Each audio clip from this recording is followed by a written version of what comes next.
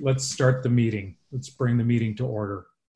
So we're going to start with uh, public invited to be heard, and I believe we do have one member of the public.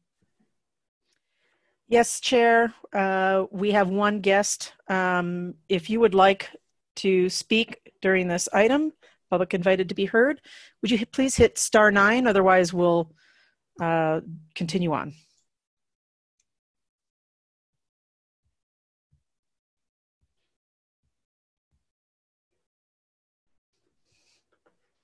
I'm going to take that as a decline to speak. Let me go ahead and unmute him just in case he's. Just in case, okay. Yeah. Eric, is this you?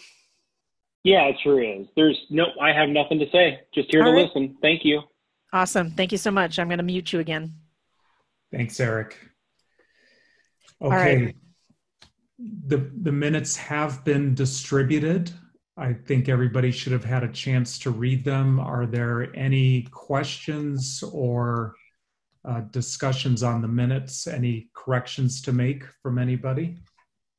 If so, just go ahead and unmute yourself and weigh in. Okay, without any discussion or questions, is there a motion to accept the minutes? I'll go ahead and move approval of the March 12th, 2020 Housing and Human Services Advisory Board meeting minutes. Thank And you, I'll Benny. second that. Caitlin, was that you? Yes. Okay, thank you. Uh, So we have a motion and a second to approve the minutes.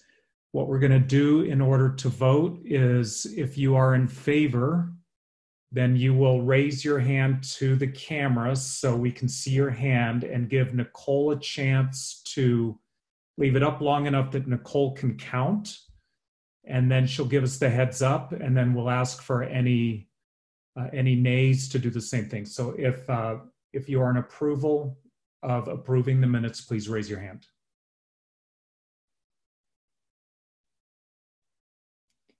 Anne, has is your hand raised? I wasn't at the last meeting, so I didn't think I could vote. Oh, fair enough. Okay, we're good. I got everybody. Chair, thank you. Okay. Uh, is there anybody who um, declines approving the minutes? Please raise your hand. Okay, the minutes are passed. Thank You you. might want to do an abstention, Brian. So Okay. Ann can, yeah. I'm sorry, Okay. did, did you say, Someone wants to abstain from the oh, vote. thank you. Uh, And I'm Any sorry, I abstentions, wasn't- please raise your hands.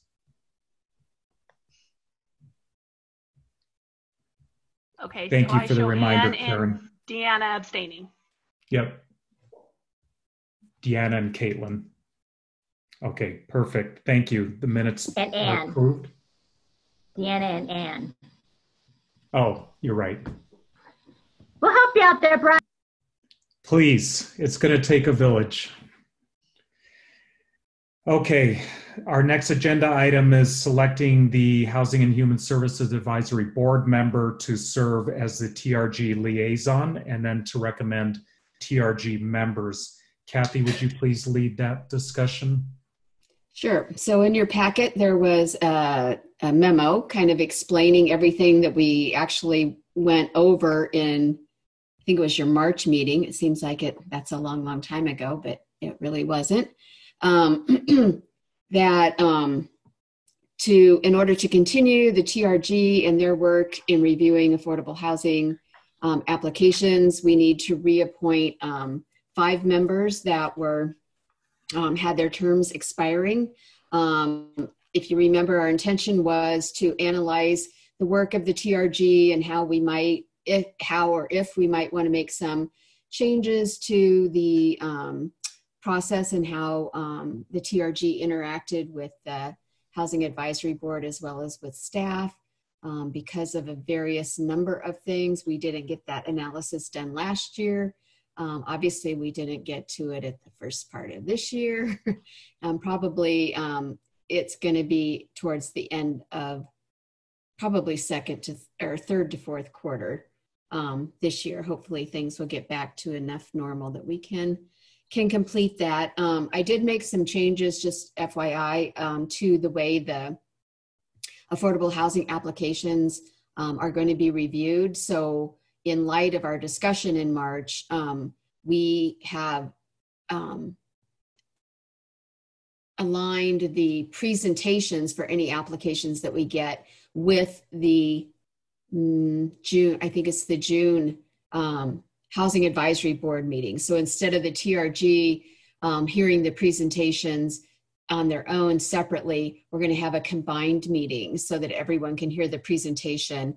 Then the TRG will go back and um, review, um, get additional information from the developers, and then make a recommendation, which will come to you. Um, and I'll have to let you know. I think it's the May June meeting or the June July meeting. I, I should have had that in front of me, and I don't. Um, but it is on the website. It does outline that. So that was one of the um, indica- or changes that we made as a result of the discussions that we had in March. Um, so now we need to get a recommendation on filling those five positions as well as assigning um, or um, nominating somebody from the Housing Advisory Board to serve as the liaison to the um, TRG. Um, the five existing members that whose terms were expiring are good with staying on for another year um, in case we do need to make adjustments to the, the process, um, further adjustments. and I did include in the packet who those folks are. They've all been on on the TRG for a, at least a couple of years, if not um, a longer time period. Um, in the case of Lori Walker, um, so if you have any questions about any of them, um, then you can consider your H, HSAB liaison member and make a um, formal recommendation I can take to council at their May 26th meeting. Okay, thank you, Kathy. Any questions for Kathy? Yes. Oh, uh, you go ahead and unmute yourself. You. Sorry, I thought I did that. Um, I, I just wanted to disclose that one of the potential board members was my realtor several years ago. I don't think it's a conflict, but I just wanted to point it out. I don't have any ongoing relationship with her, but if you guys don't want me to vote on it, I would be okay with that too. Thank you. I don't know that there's any conflict there. It just seems like familiarity. Thank you for letting us know. Mm-hmm. Um, okay, any questions? Uh, if there is, a, so let's do this. If there is a question, uh, like Deanna did, raise your hand and then I'll be able to call on you. And if we have several, I'll be able to order everybody. Okay, we just lost two people to the refrigerator. Uh, okay. Karen, did you have a question? No. Okay. All right. So here's my only question. Uh, well, I'll start. So Diane Groff and Jennifer are not listed as proposed. Have they timed out? No, they are. Um, their term goes through the end of next year, so they oh they don't need any action. Thank you. Okay. So we need two. Do we need two votes here, Kathy? One to approve the the reappointments as presented, and then the other one for the liaison, or can we do them together? You can do them together if you want. Thank you. Okay, so do we have any members who are interested in uh, functioning as liaison to the TRG for this next term? I'll, I'll just say that I've done it for the last year. Um, I have really enjoyed the work. Uh, I've really enjoyed getting the chance to listen to those smart people. Um, I would be happy to continue doing that if there's someone that was really burning to take it up. Um, I'm happy to have that conversation as well. But I'm I'm willing to serve. Certainly. Great, thanks, Jake. Anybody have a burning desire, Caitlin? Um, I just had a quick question. Um, to that point is, um, Jake, can you, I think you discussed this at our March meeting, but it would be helpful to maybe get a quick like bullet points of what the liaison does um, and sort of attending those meetings. Um, sounds like we're going to have a maybe joint presentations with them, but it'd be helpful to hear that again. Um, I was, I thought I had seen it, and I am maybe just flipping a little too fast through all of my papers here. Yeah, the liaison functions in kind of a very similar way to how Councilmember Christensen functions here. Um, attend the meetings, listen. I don't know if I'm officially considered a voting member, if the liaison is or not. I, I don't know. Yeah, that's what I that's what I thought. So, um, so no, not not necessarily a voting member, but someone who's able to be there at the meetings, communicate back to this board, have kind of a full picture of each application. Um, it'll be really helpful. It'll be a little different this year if we are going to have those joint meetings, which I think is wonderful. I think that's great. Um, if we are going to have those, it makes it a little different. But um, yeah, essentially, it's being able to attend the meeting, go through the material that's presented, um, ask questions perhaps if there are any, but primarily it's kind of a sit and listen to the smart folks on TRG and communicate, kind of be a go between for this group. Please correct me if I'm wrong, Kathy, or, or if, if, if that. That, that was a good summary. Great. Okay, well, then I would like to nominate uh, Jake Marsing as our TRG liaison. Is there a motion for that? I'll motion for Thank Jake Marsing to be the liaison to the TRG group from HH uh, SAB. Yes. All right. And Anne, are you seconding? Okay, we have a second from Ann Baldwin. Sorry. That's all right. I saw two fingers, I'm so I seconding assumed that that. was code for seconding. Uh, okay, so all in favor of nom of approving Jake Marsing as the HHSAB liaison to the TRG, please raise your hand.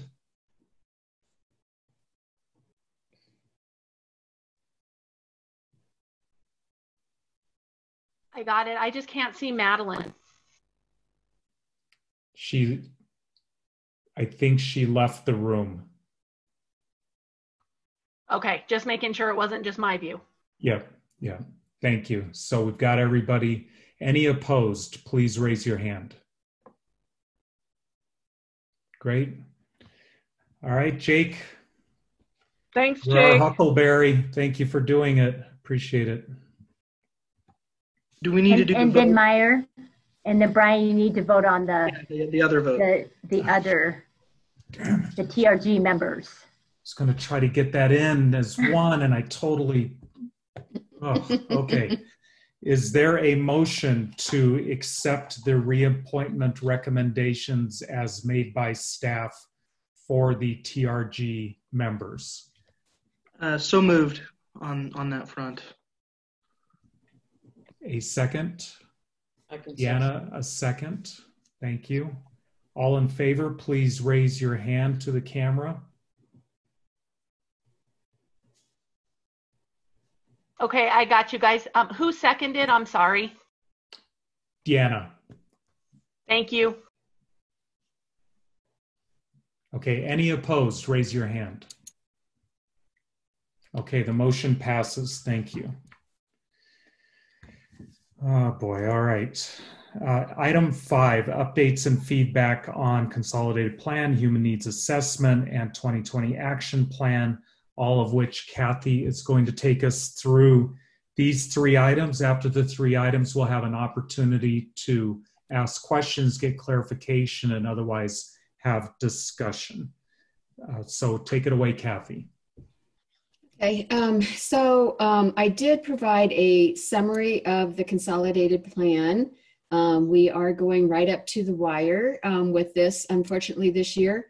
Um, good thing we started our um, public input process and community engagement um, actually last year um, to get all of that in because with everything that has hit, it's been um, quite exciting to, to work on this with everything else. Um, I am still editing the actual consolidated plan. Um, even up until about an hour ago. Um, so, but generally speaking, the summary um, that I uh, is in your packet is um, is is still valid and is a good um, summary. So the consortium area um, that manages our the home funds that come into the consortium, as well as the three communities that get CDBG funds, we combine together to have one consolidated plan that HUD requires. Um, that directs our it assesses the needs um, in the communities for um, the upcoming five years and then um, sets strategic goals. And then um, every year we update it with our annual action plan goals um, for specifically how we're going to spend our CDBG funding. Um, so this is a the consolidated plan, the big planning document, plus the 2020 action plan that gets submitted to HUD after the May 26th council meeting um, and the, the final public hearing that will be held at that at that council meeting. Um, we already had made a lot of recommendations and, and funding approvals for the 2020 action plan, and I'll get into that in more detail when we hit 5C. Um, and then when COVID hit, we got an additional allocation. So we are making some recommendations around um, reallocating some of the 2020 funding and doing something a little different, and then um, new recommendations on the um, the COVID relief funding. Um, generally, um, this summary of the consolidated plan, there's an analysis of housing market data and affordability gaps. Um, we can, did a lot of community engagement, including, including a resident survey of over um, almost 1,200, uh, over 1,170 Longmont residents. Um, we had several open community meetings um, where residents could attend. We did individual interviews with stakeholders who work with residents who have low income to talk about um, policy and program changes. And then um, this will be the public comment period um, from May 20th to the 26th. So some of the findings um, were uh, that, as everybody uh, is aware, there's low vacancy rates and rising housing prices and rents um, throughout the region. Um, rents and for sale home prices reached new heights, uh, humongous increases in cost of housing across the board um, in all of the communities. Um, home values more than doubled the increase in rents. Um, we increased about 64% um, over the, the time period. And but we still remain in a, the most affordable jurisdiction in the consortium um, for what that's worth at this point in time. um, interesting thing that seems to be um, poking up is that um, incomes have gotten a lot higher in Longmont and the consortium as a whole, um, with rental incomes increasing um, which have dry, driven up rent prices, obviously, um, but it also increased the gap in very low income rental units needed. So, what has happened is people with higher incomes have come in, they have taken over more of the units that used to be affordable. Um, the folks, um, property owners, are charging higher rents. So, while gen- in general, incomes have increased in the renter population, um, there's a greater need for very low income rental housing. Um, the other interesting phenomenon is that rental, the number of renters with lower incomes has decreased from the last consolidated plan, um, which we think indicates that folks just couldn't afford to live here and have moved um, to a certain extent. So it wasn't a huge, but it, it was um, noticeable, the, the change in the incomes um, in the renters. Um, there are vacant, uh, it, essentially no vacant rentals. Um, we lost a significant number of privately um, provided affordable rentals. That kind of gets to what I was just talking about. Um, as the private rental market now serves renters earning higher incomes than than what they did under the, the last um, housing market analysis. Um, this shows that the table that was included in your packet showed a gap of about 2,300 units affordable um, to folks with incomes below 35,000. Um, so th- that's that's an increase over I think it was um, 1,800 to 2,000 under the last um, housing market analysis.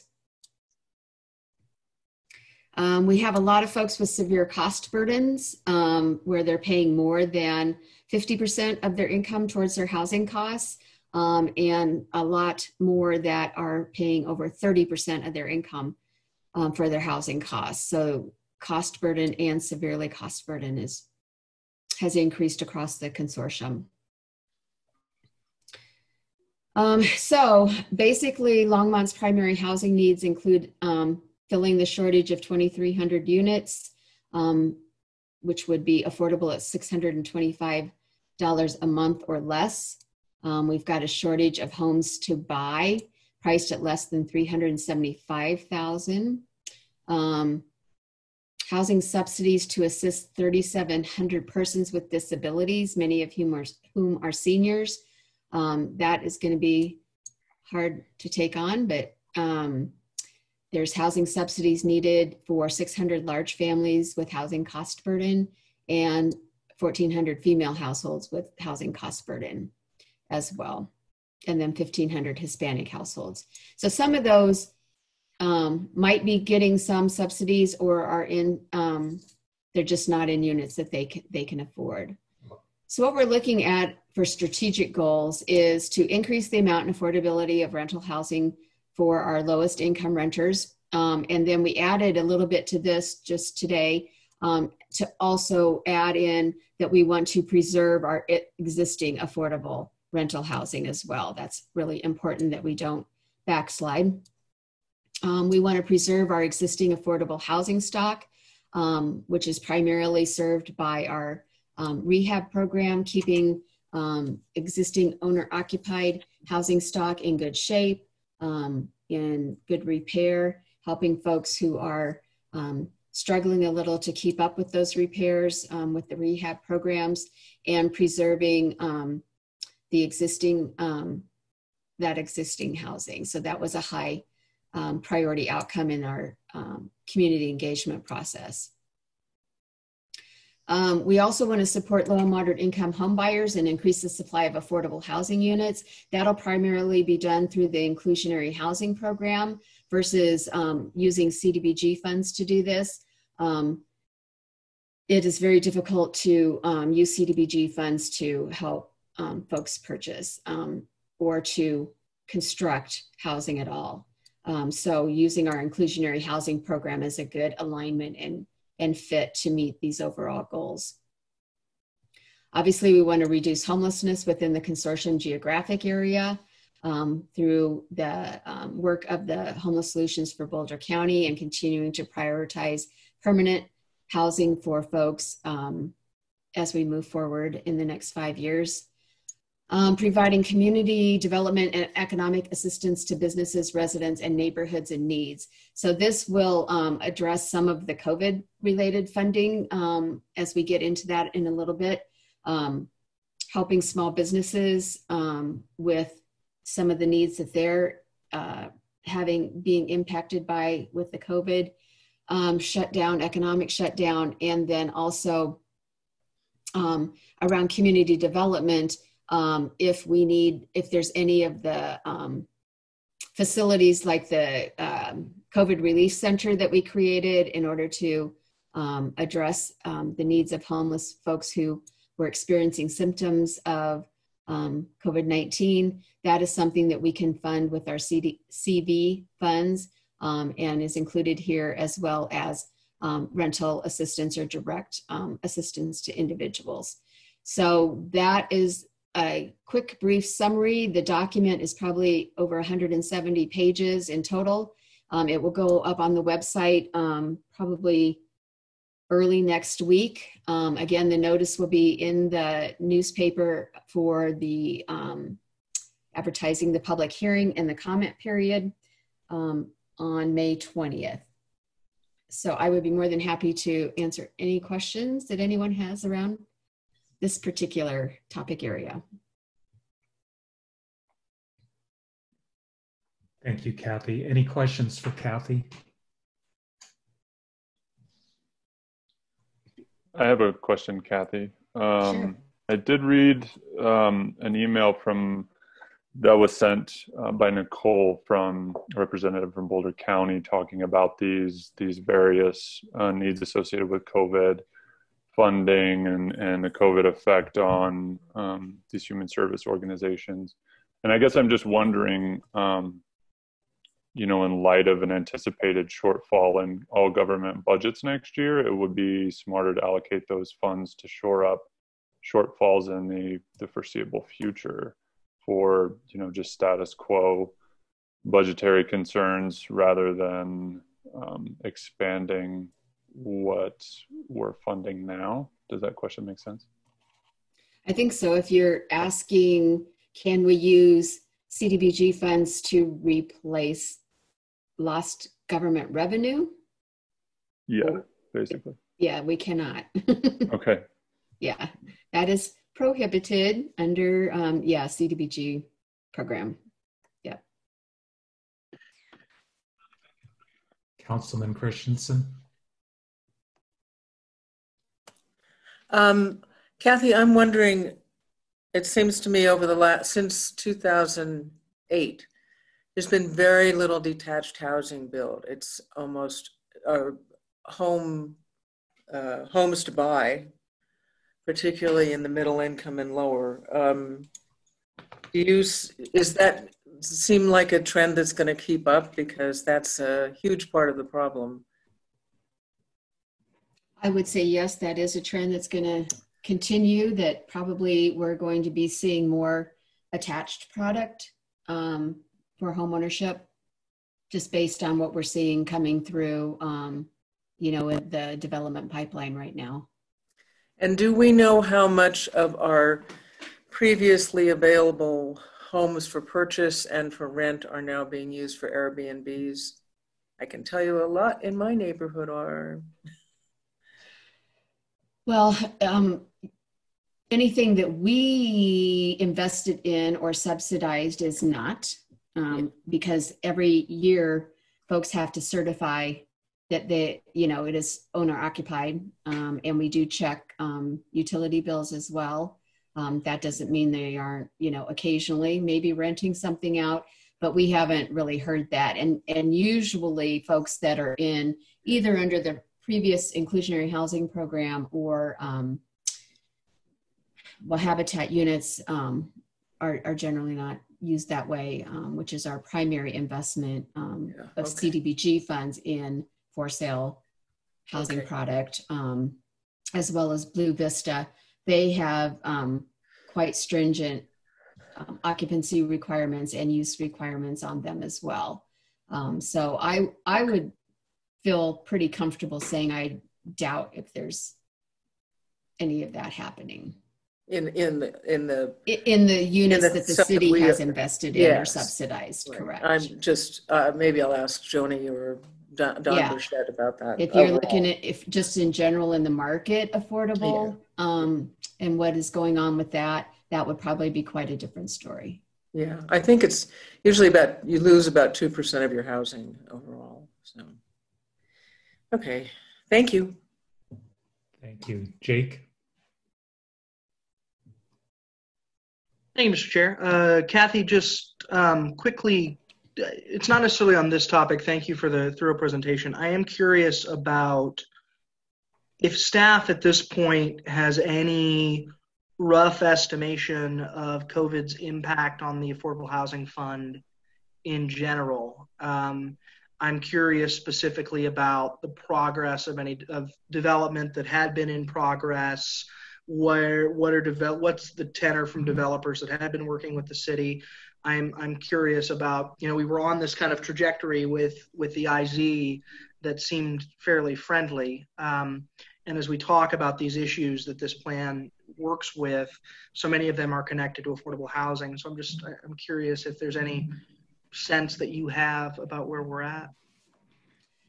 Well, um, so developers and developments under that were underway under inclusionary housing before um, we went into um, say um, stay at home orders um, appear to still be moving forward at this point in time we haven't had anybody that i am aware of withdraw anything um, things might have slowed somewhat. I'm thinking of some of the smaller developers um, that they might not be moving as quickly as they they were but so far nobody has stopped anything that i'm aware of.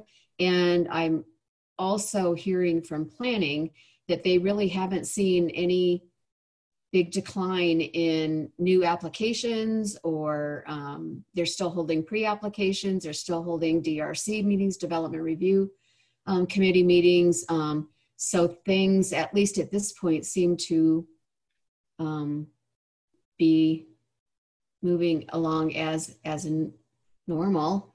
Um, the things, the projects that we funded that have been approved for funding um, over the past year or so are moving forward. Um, the Inn Between is looking for um, something to purchase. They actually had an offer on one property and decided it was too expensive and are i think trying to um, go under contract on another property so they're moving forward. Um, we just received word that the cinnamon park um, senior independent apartments uh, just got tax credits. So they're moving forward so we're moving on a, our agreement with them for affordable housing funds. Um, so nothing that I have heard of yet is in jeopardy or won't go forward at this point in time. Now, something, you know, could happen. There's another project that's in for tax credits that we haven't heard if they've received or not. Um, so we'll we'll wait and see on that. But um, if we have allocated funding for it, everything that we've allocated is moving forward if they're if they're ready to go.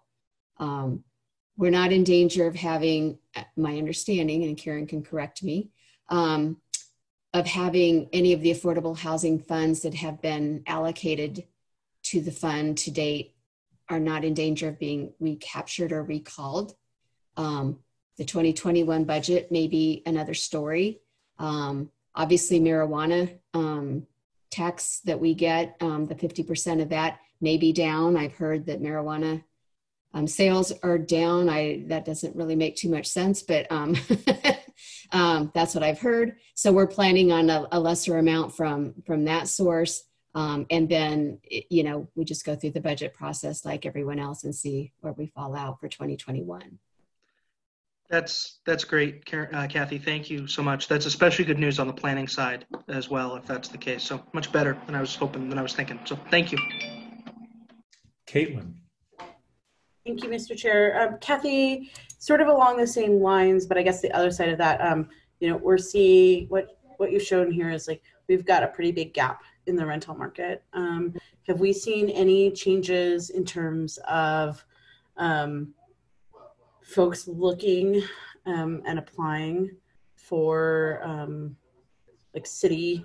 I know that we've got some like affordable housing projects, but also we've got community partners. Have we got a sense from any of those if there's an increase um, in folks that are looking for assistance right now, what those kinds of increases look like um, from from sort of like the COVID related things?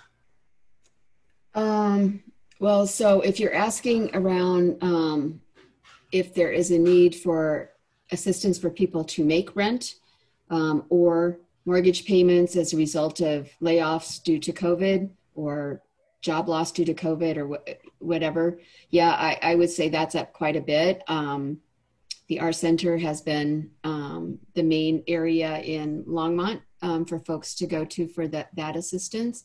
Um, Boulder County has um, stood up, st- stand up. They have started a housing helpline to um, make referrals for folks, and they have also repurposed a lot of the um, their emergency shelter grant money as well as what's the other source, Karen, that they they're um,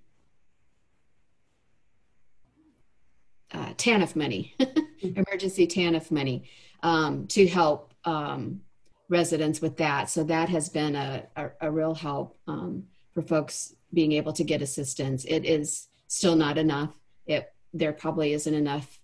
Well, at some point there's enough money in the world, but we're we're probably not going to reach that point um, to be able to do that. Um, my understanding is that a lot of the um, unemployment money is now coming through. The um, $1,200 uh, direct assistance is coming through, and actually, some folks that are already in subsidized housing that might have somewhat of a gap um, because of a loss of a job are um, between those two funding sources if, it, if they get both of them are probably actually going to be better off um, unemployed than they were when they were employed.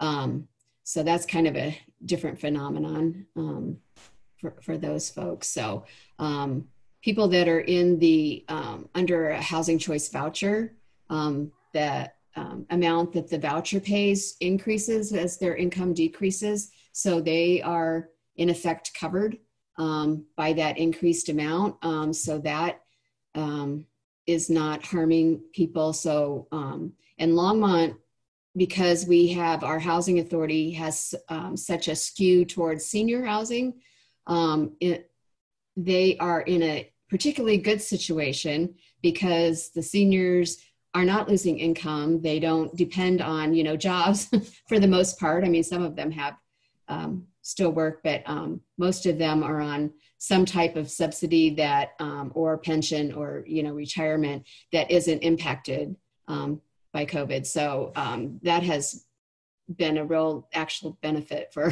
the Longmont Housing Authority in particular. Thank you. Eliberto? So I just wanted to concur what Kathy said. I've I've had uh, monthly meetings with the OUR Center, and I just had my monthly meeting with them yesterday.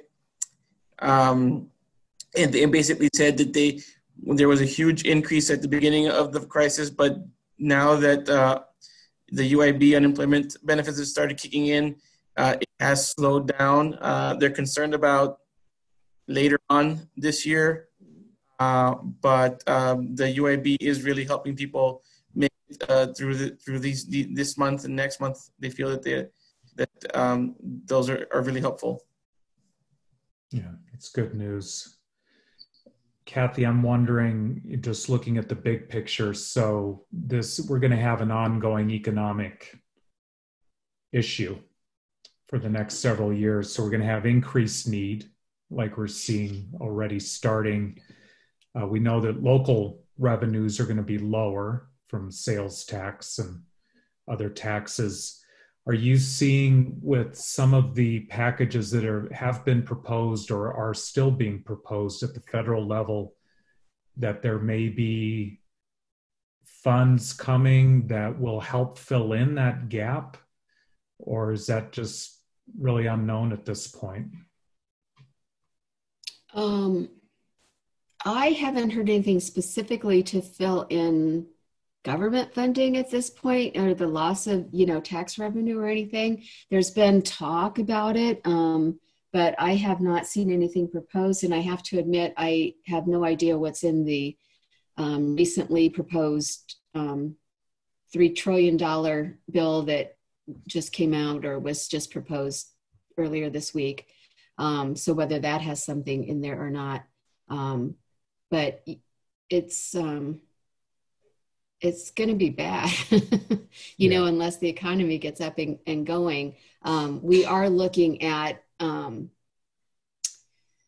using the the uh, CDBG CV funds for kind of later activities because of what Eliberto just mentioned that some of the um, federal funding is kicking in for individual residents, and so as that um, expires, then there may be um, if they aren't back to working, there may be assistance that's needed, is where we think um, that will come in, that we will come in kind of more at the back end or in several months versus you know immediate kinds of assistance for the the businesses as well um, mm-hmm. there's a new program starting um, called strongmont where we're going to be uh, providing with uh, partnership with the DDA and the city and the um, Longmont Economic Development Partnership and the Community Foundation um, grants to businesses um, to help them over the hump um, and get open again. Um, and we're thinking using the CDBG funds that we're um, proposing to be set aside, that again, that would come in a little bit later when, because we have to show that we're not duplicating other funding. Mm-hmm. Um, so if businesses can show that they've been turned down by other funding, that will help with that. Um, but also, it is a resource that there's more strings attached to it, so it might be more palatable for businesses and a better use of funds to come in a little bit later um, as a kind of funding of last resort i guess you you might view it thank you any other questions or comments shakita Thank you, uh, Chair. I looking at those numbers and looking at the burden, um, let me see what the actual terminology was for that. But, um, you know, what are we going to do to keep people who are not really, who are renting and do not qualify for, um, you know, uh, public services. And of course the rent is you know has increased in longmont is there a plan to retain these people because the residents that are here who are contributing to our community um, what are we doing to retain those residents who are like in the middle you know who are barely making it who are not making 75000 a year um, but yet they're barely making it and every year rent increases? And how many times can they how many times are they able to go in and ask for assistance with rent?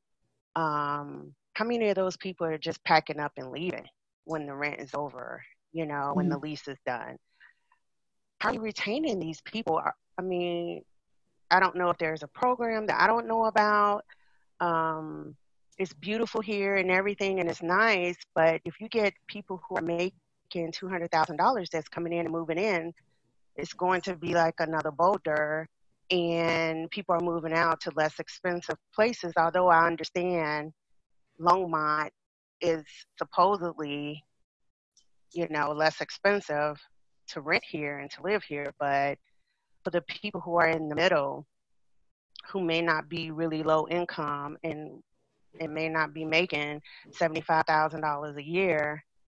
What about those people? I think they're kind of getting, you know, pushed under under the rug or pushed in the closet. I don't know. It's a comment. I'm asking a question, but yet that's just how I'm feeling listening to everyone. And I'm thinking because I'm like one of those people, you know, like I'm ready to get up out of here because like it's hard. It's really hard to afford it to afford living in Colorado. And Longmont was used to be when I lived here, when I moved here eight years ago, it was affordable, even as a single mom. But now it's increasing. And what are what what programs are out, out here to retain people like me? Well, I don't I don't have a good answer for you. Um, we try and have a range of services and you know understand that the funding that um, the city has control over is is small in the overall scheme of things um, and um, so we within the regional um, Affordable Housing Partnership Plan, which all of Boulder County um, communities have um, bought into and have approved and is using that as their goal. We do have a full a range of um, services and housing that we're trying to provide. Um, so the plan calls for everything from um, no income up to 120% of area median income um, for home ownership on the on the the top side and everything in between. right now, the city's rental assistance programs, um, where we are funding uh, development projects, can go up as uh, up to 60% of area median income to be served, um, which is getting closer um, to that area that you're that you're talking about. Um, 75,000 is probably 70 to 80% of area median income um, at this point. Um, the ho- homeownership um, programs are um, generally between 70 and 120%, and rental is generally between nothing to 100 or 60% area median income. Um, so we do try and offer that wide range. Um, when you get into competitive funding situations, you are usually trying to prioritize um, the um, the highest priority needs, I guess, um, which you know, according to the market analysis, um, is um, probably forty percent area median income and below for rental housing. So it's a real balancing act. Um, I have to say that a lot of the rental, um, the private sector rental market, um, especially if it's a tax credit project, is usually hitting at that 60% AMI level.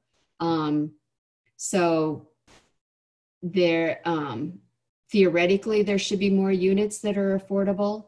Um, but again, um, and and there's income limits to um, be in those units but the competition is just so great across the board um, for that that they're just i would say across the board there just aren't enough units and how do we how are we ever going to you can't you keep saying you can't build your way out of it but that's a how else do you create new units without building them? But it costs so much to build as well. Um, so I, I, really don't have a good answer for you i think at this point. Um, it is something that we are cognizant of and we're working on and we're including. Um, but um, I would say that's one area we're not doing a great job in, unfortunately, because of a lack of sufficient funding.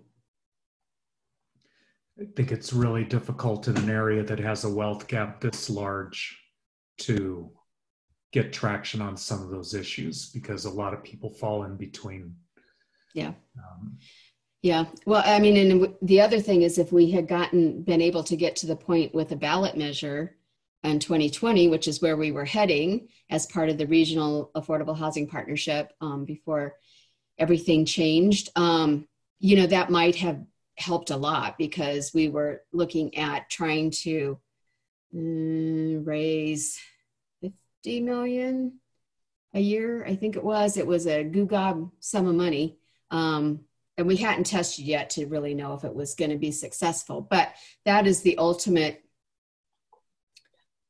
about the only uh, main way to raise a significant amount of funding is if we are able to pass some kind of ballot measure where it's a, whether it's a property tax or a sales tax and then what are people going to be able to support coming off of this you know it's it's a very bizarre situation we find ourselves in Hmm. Thank you, Kathy. Jake, were you wanting to say something? Yeah, I was just going to thank Shakita for the comment and, and offer one little point. Because um, you hit the nail on the head. That is, for me at least, the core question kind of facing the city is how do you f- make sure that working class folks can make it um, in Longmont, folks who built the community. Um, that's the challenge, and I don't know that there's a good answer. And then I would just, I just wanted to add that um, part of the bill that's been proposed, Kathy, includes a trillion dollars for uh, state funding, for state relief. How that trickles down to, to local governments is, I think there's an there might be an additional appropriation, but I need to talk to to Neguse's people. He had a bill that kind of got folded into the big package, so um, that that is certainly on the minds of some folks in Congress, whether it happens or not. We'll see. Thank you, Jake. And thank you, Shakita, for the comments. Appreciate it. Okay, uh, if there's no further questions or discussion, Kathy, are you? Uh, did you make it through all of your items? Um, not 5C, so I would like to put that up and just go over a little bit of what we're um, recommending because normally we would get um, you guys' um, input and sign off um, before, and because of the quickness that we were trying to move this through um, and the new allowances in citizen participation. Um, trying to get my thing back here. Um, we um, were taking staff recommendations right to council. So getting some kind of feedback here would be um, would be um, good. I don't know that you have to take a formal vote or a formal recommendation, but um, I would like to kind of walk this through and hear your comments. So what we um, over on the far left, um, my left, I guess at your left as well, looking at it, um, where it says 2020 CDBG approved funding. That is where we uh, the last um, approval for 2020 that you guys recommended and actually council approved.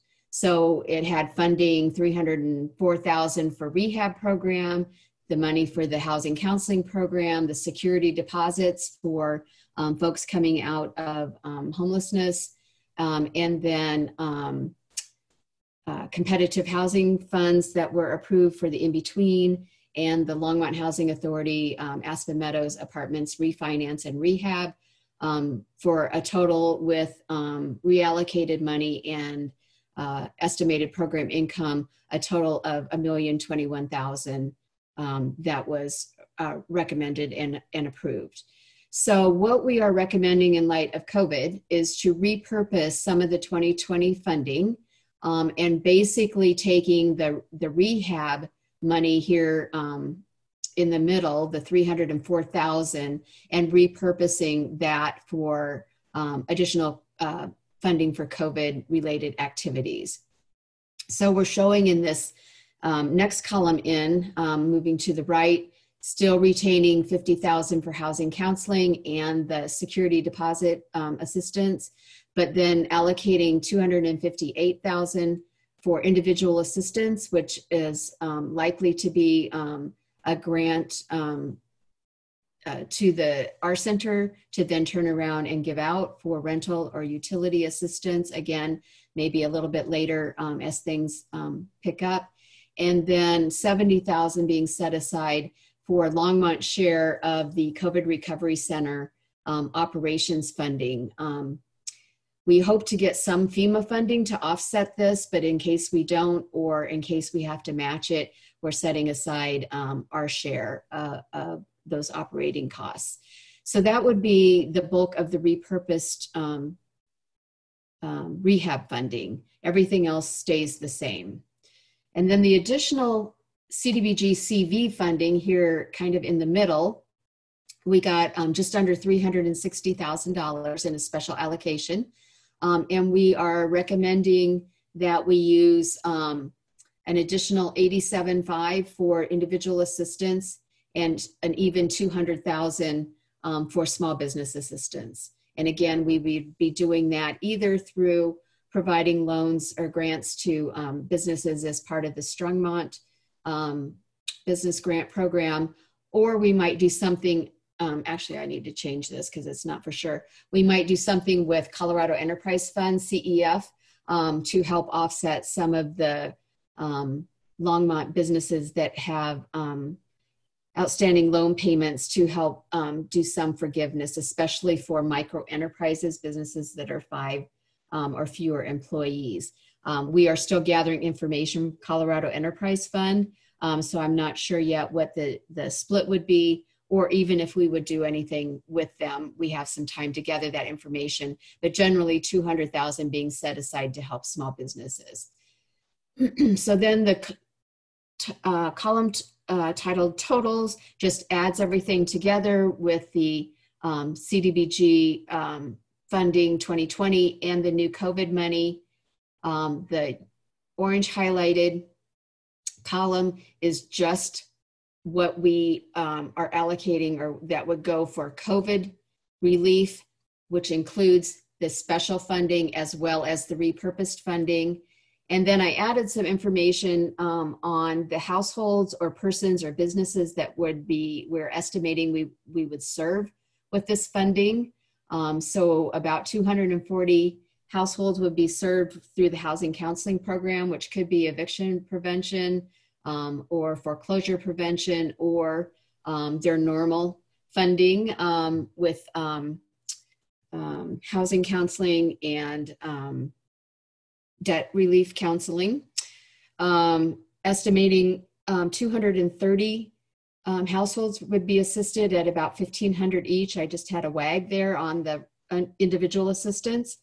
Um, the CRC operations, I think we served four folks in the COVID Relief Center. That might be a little bit more. I'm not quite sure on that, but I plugged in four there. Um, and then an estimated 20 businesses um, with the small business assistance um, funding, um, eight, at least eight for the Inn Between when they um, finally purchase a project, and then preserving 50 units through the um, Aspen Meadows refinance and rehab. So a total of a little over 550 total households, persons, or businesses would be served. And then under this allocation, over 15 million um, dollars would be leveraged in other public or private funding. So um, I think, um, Susan, you can take this down and then I would be more than happy to answer any questions. You should have gotten this today, I think, maybe. Sorry about the lateness of it, but I think Nicole sent it out um, today. Um, but I'd be more than happy to answer any questions about what we're proposing. Thank you, Kathy. Graham. Uh, thank you, Mr. Chair. I think most all that looks great. I, I, think the only one question I have is about the around a quarter million dollars you're giving to the care center for individual assistance. And i just am curious how um, how that's going to be administered how do we ensure the money goes where we want it and that it doesn't just get wrapped up into uh, the OUR Center's day-to-day business as usual. And maybe just like why why them? Why didn't you know staff administer that money? Um, those are my questions. Yeah good questions. Um, so we um, think it's it's usually better to um, fund a, a, program that's already operational um, as opposed to standing up something new and particularly staff taking on yet another new venture right now.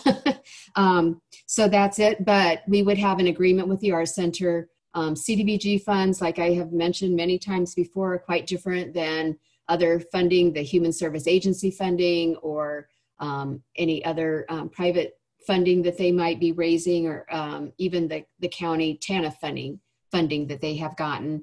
So we'll have to have a clear understanding with them and we would have a sit down before to make sure they understand all of the requirements that they have to meet, um, what they would have to do to income qualify folks, to um, determine eligibility, to ensure they're not duplicating um, other benefits. And then we would have all that wrapped up in a contract and there would be ongoing reporting and probably a little bit heavier oversight um, and more often oversight um, of how things were going um, for that. So I think we can be fairly directive.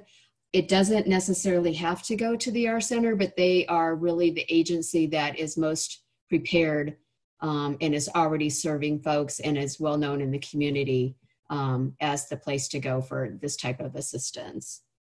That was our reasoning for that. Okay, thanks.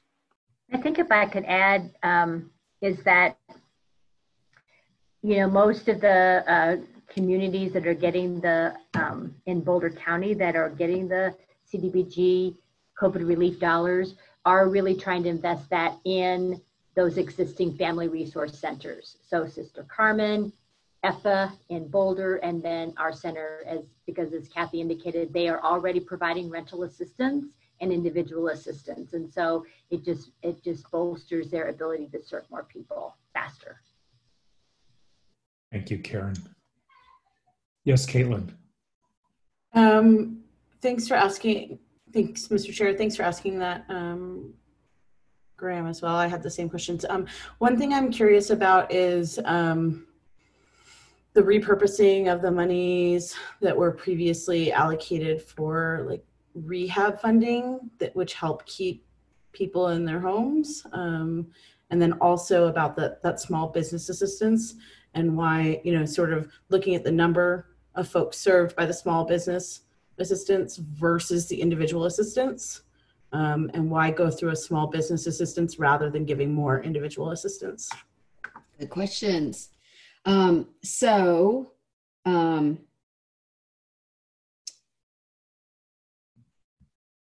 the reason we chose to repurpose the rehab funding um, is because with COVID, people didn't want people in their homes, and quite rightly so. So the rehab program um, was put in abeyance um, when this started.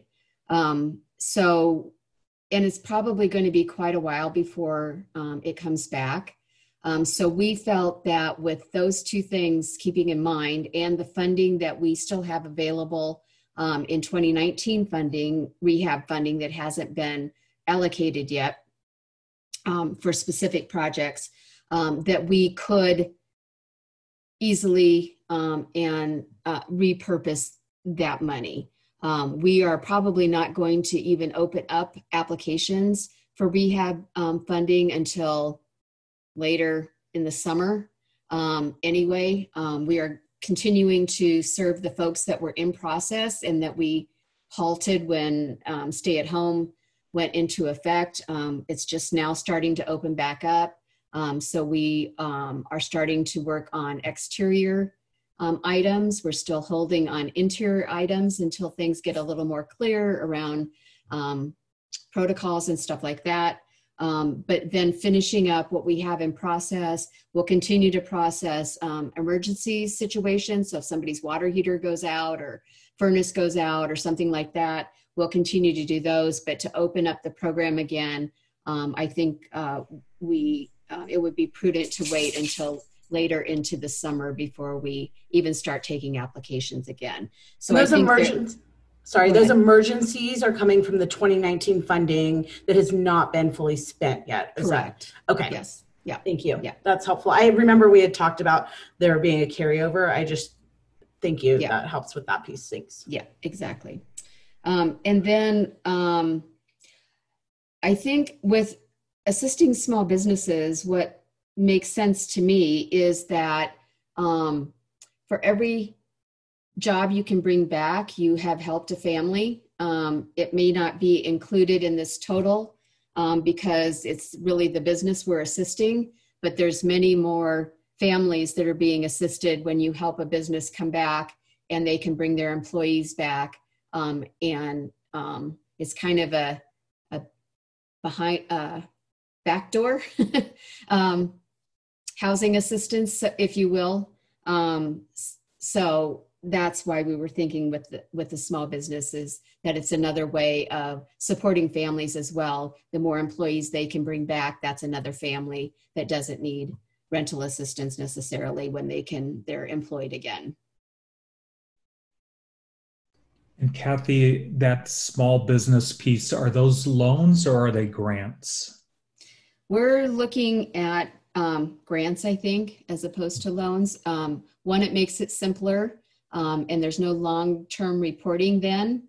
Um, and you know, when we did this before, um, many years ago, we did a small business um, revolving loan fund, and the purpose was to provide loans and generate um, income that would come back through loan payments and revolve it and support more businesses. So it's an ongoing kind of thing. This is seems different, and um, you know, to ex- have a business take on more debt during this time just doesn't seem right. Yeah. The Strongmont Fund is set up to be a grant, so we thought we would just do the same thing. And we're allowed to. We can choose to do grants or loans. And these funds, um, I think you said this, but just to make sure, um, these would be, you know, available if there's not other funding available for these small businesses. That's correct. We can't duplicate or um, supplant other funding. Got it. So if they qualified for federal assistance for some piece of their operations, we wouldn't, you know, essentially give a grant that would cover that those same costs. It would have to Correct. be for something different if they Yep. okay. Exactly. Okay. Yeah, I certainly support the grants versus the loans. I think going into a major recession is a tough time to take on extra debt. So, um, that's just going to lead to more mental health issues, more stress, and more failures. So I'm glad to hear that. Any other feedback for Kathy? Yes, Madeline. Uh, yes, I uh, before I have to go, I wanted to ask how are people, if we are making available grants for the small businesses um, that are experiencing um, what everybody else is experiencing right now, uh, how how would they go about? How do they find out about it? How would they find out about the um, the requirements? And just more about it. Mm-hmm. Where would I, for instance, be able to direct someone to? Right. So um, the um, like I said, the Longmont Community Foundation is administering the funds called the Strongmont um, Fund. I think it's called Strongmont Fund. I know it's Strongmont. I can't remember if it's program or fund. Anyway, um, so it will be on the um, Longmont Community Foundation website. Um, I think they're going to open applications Monday, maybe the 18th. Um, and it should also be on the Longmont Economic Development Partnership website, the DDA website, um, the Chamber website, um, and I would imagine the city website, since the city's also contributing to that um, some of uh, their direct funding. So um, all of those should be open. I think it is only going to be open for a very short period of time, though. Um, so if you know of somebody that might be interested, I would start telling them and have them ready to, as soon as the application's open, to to submit. All right, thank you. Yep. Good night. night. Good night, Madeline. Yes, Jake. Just a quick question, Kathy. Do you happen to know uh, on that fund if nonprofits uh, or religious organizations qualify for those dollars, which is um, you know, just whether they it's the same as the CARES Act in that way, or is that the community foundation would know that that answer? They would know that. It should be on the thing, but I believe it is does not include nonprofits. Okay, cool. Thank you. Yes, Caitlin. One more question on that um, fund being administered by the Longmont Community Foundation is um, the 200,000 that is reflected here, is that the only money that the city is putting into that fund or is the city contributing from other sources um, in the budget or otherwise? Yeah. So the city is putting in, I think it's 50 or 60,000, I think, um, that they had allocated for um, to support economic development efforts. So they're repurposing um, city funds, um, the general funds, I think basically, or what it's have a little more than that. Okay. But I think it's close to a hundred, maybe 90,000 or 100, something like that. Okay. But it's from money they had set aside for economic development and they're repurposing into into this fund. And the and also then um, the Longmont Community Foundation is is raising private dollars for that you know, and Eric's listening in if he wants to chime in. if we're saying something wrong, stop us. But uh, but yeah, so it I think that they're certainly drawing from different sources from throughout the community to bolster the amount of dollars that's available for these uh, small business grants. The the um, um, council is also contributing thirty thousand dollars, which I wanted to go to individuals, but it's going to businesses. So we're trying to pull money from every place we can. Um, and um, oh, there's also the Community Foundation is also going to administer a fund called Neighbor to Neighbor, which is really just for individuals. So if any of you have spare money, give it to the, the Community Foundation. And that goes directly to individuals, and they'll be administering that. Thanks if only we had had a member, a uh, somebody from the Longmont Community Foundation who had been on the line and spoke during the public invited to be heard. so many of these questions could have been answered. Okay, uh, that is no shaming, Mr. Chair. simply reflecting the possibilities, Eric. Okay, any other questions or comments, feedback for Kathy? Okay, I, I think Kathy, everybody seems to be in pretty widespread approval of your reallocations and, and redirection of money. Okay, great. I will convey that to council. I think it makes sense. Good. Great, thank you. Okay, we're on to agenda item six, update on human services need assessment and review 2021 human service funding options. Eliberto is going to walk us through that. Board. Uh, before jumping into the presentation, I did want to give an update that I just got today, and I have not had a chance to send it out to the board for your information from um, Root Policy, who is the consultants that are doing the human services needs assessment. Uh, they just sent me the timeline, um, and so I, you know, their their goal is to really start um, stakeholder uh, engagement and stakeholder by stakeholder engagement. They're really talking about agencies that serve low and moderate income residents in in services in Longmont and they're thinking about doing that the weeks week the weeks of June 2nd and 8th, uh, doing uh, several focus groups. Um, they may reach out or they would like to reach out starting May 26th to June 5th. Uh, potential residential resident focus group host um, to gauge interest on hosting virtual resident engagement. Um, and then doing that through the June 8th through the 30th. And July 1st to July 31st, really developing the human services needs draft um, for in preparation for a board presentation in August. Um, so I just received that timeline today, and I want to share that with the board. Um, but now we can, um, Susan, if you if you don't mind, we could jump into the presentation. Uh, we want to have, we want to get some, as Karen mentioned earlier, we want to get some direction from the board around the 2021 Human Agency Service Funding, um, just because of uh, the reality of COVID and what that will mean for human services funding. So uh, if you want to go to the next slide, one more please. So, as you can imagine, uh, COVID-19 crisis has impacted um, several essential components of the human service funding. In particular, we don't know yet com in complete detail what this crisis, how it's going to impact of our, our available funding for 2021. And of course, we, I just shared you the timeline to complete the human services needs assessment uh, that was not our original goal to be finishing in August. We were hoping to be finishing closer to this meeting, actually. Um, and of course, this has not happened. So this, of course, puts us in a situation where we have to rethink what we do for 2021. Susan, if you don't mind going to the next slide, please.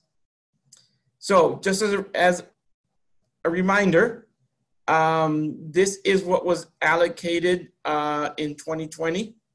Uh, 789 uh, uh, was to the human services and 815 was around homelessness and homelessness prevention work through the OUR Center, the Homesteady program. Susan, can you move to the next one, please? One more. So for some of our new members, uh, just a quick background. So in 2018, this board decided um, to align our human services needs assessment with the con plan that uh, Kathy has been talking about. And this would really uh, help us coordinate resources and timeframes in doing this community-wide assessments.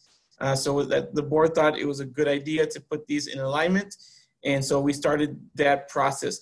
So we do have some human services needs information now uh, that was part of uh, getting the comp plan, but, the, but but we wanted a little deeper dive, and so this is why we have extended our contract with Root Policy and are working on a, on a much um, in-depth uh, human services needs assessment. So, um, one more slide, please. So we're about to jump into the options where we're going to ask for some feedback from the board. A few things that you need, the board needs to be contemplating as we look at this. Again, reiterating that we don't know what the final financial impact is um, in 2021. Also, while we're we are not sure, we believe that this impact will likely suspend council's decision to of the incremental percentage increase to human service funding. Uh, Karen, I think we were at we were going to be going up to 2.75 in 2021, is my understanding. Um, and the human services needs assessment will not be complete in time for an early summer release. We were hoping to release the RFP if everything was going as planned. We were going to release it in June after our May meeting. Um, and the other thing to consider is our EC Impact partners. EC Impact, for those that don't know, is how we is how we we run the application process. It's an online uh, platform that agencies use to fill out the application, and we use to uh, review and um, also judge the applications where uh, board members get to score, and we use those scores to help us determine what final allocations are. Um, they already have, City of Boulder for sure has already has a plan to suspend their annual RFP due to COVID impacts. So we know that for sure. We're not sure what Boulder County is going to do. I think they're waiting on us and what our direction will be before making a final decision. So those are things to keep in mind as we go through these options and then we can have a conversation. Um, so you want to go to the next slide, Susan? So uh, there's four options I'm going to go over pretty quickly and then we can have a conversation. Option one is simple. We know that we're not going to have the new priorities uh, set, um, but we could decide that that we are just going to go ahead with what our 2020 priorities are, uh, the percentages that we had placed on them, um, and just you know release an RFP that way. Things to consider is that again, I know for a fact that City of Boulder is not planning to, to release an RFP. I did talk to City of Boulder and they're willing to support us if we decide to go this option. Um, with the EC Impact process, I am not an expert at EC Impact, but the city of Boulder has some folks that could help me. Uh, we would need to figure out how we would do this process, in particular around the hearings. Would they be virtual? You know, all of these things we'd have to figure out pretty quickly uh, as, as staff and as a board. Could you go to option two? So option two, we could postpone the 2021 application until fall. Uh, we are expected to get our final um, human services needs assessment done by August.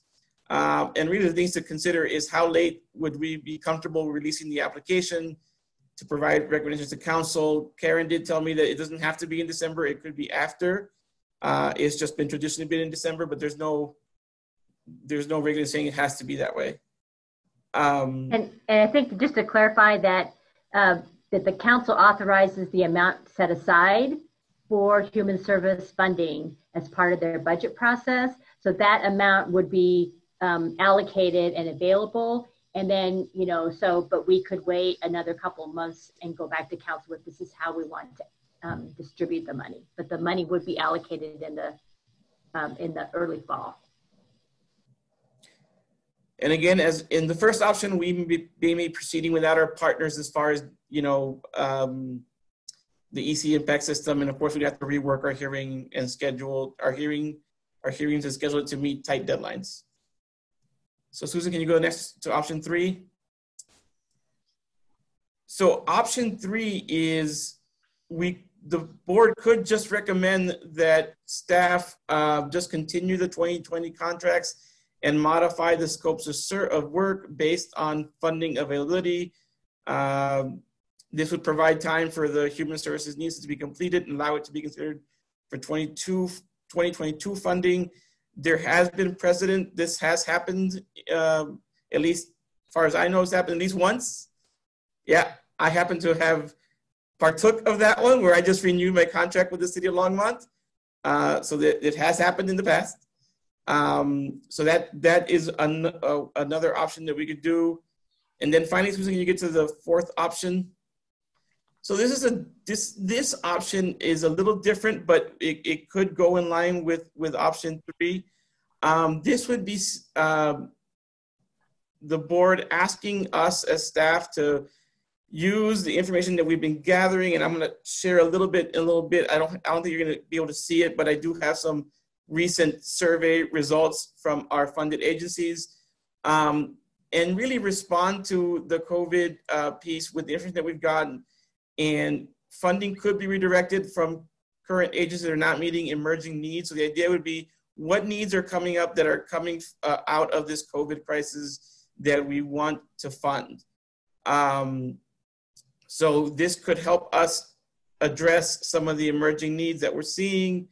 I can tell you that the City of Boulder is looking at a model like that, potentially creating a logic model saying here are the activities and outcomes that we want to see based on what we're learning uh, during this COVID emergency.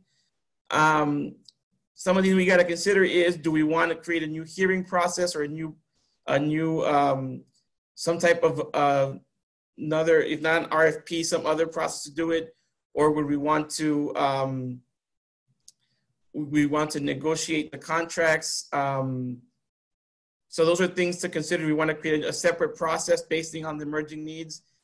Um, and there's a lot of questions that are not on here that we need to answer as well.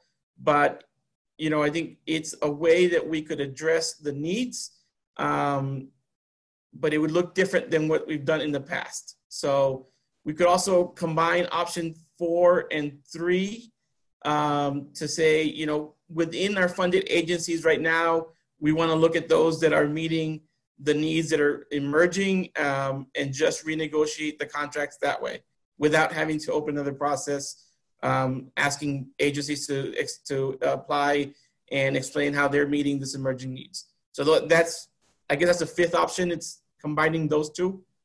So those are the four options that we've created. Susan, if you want to move on to the next one. If you all have any other thoughts, we could we could also entertain those as well tonight.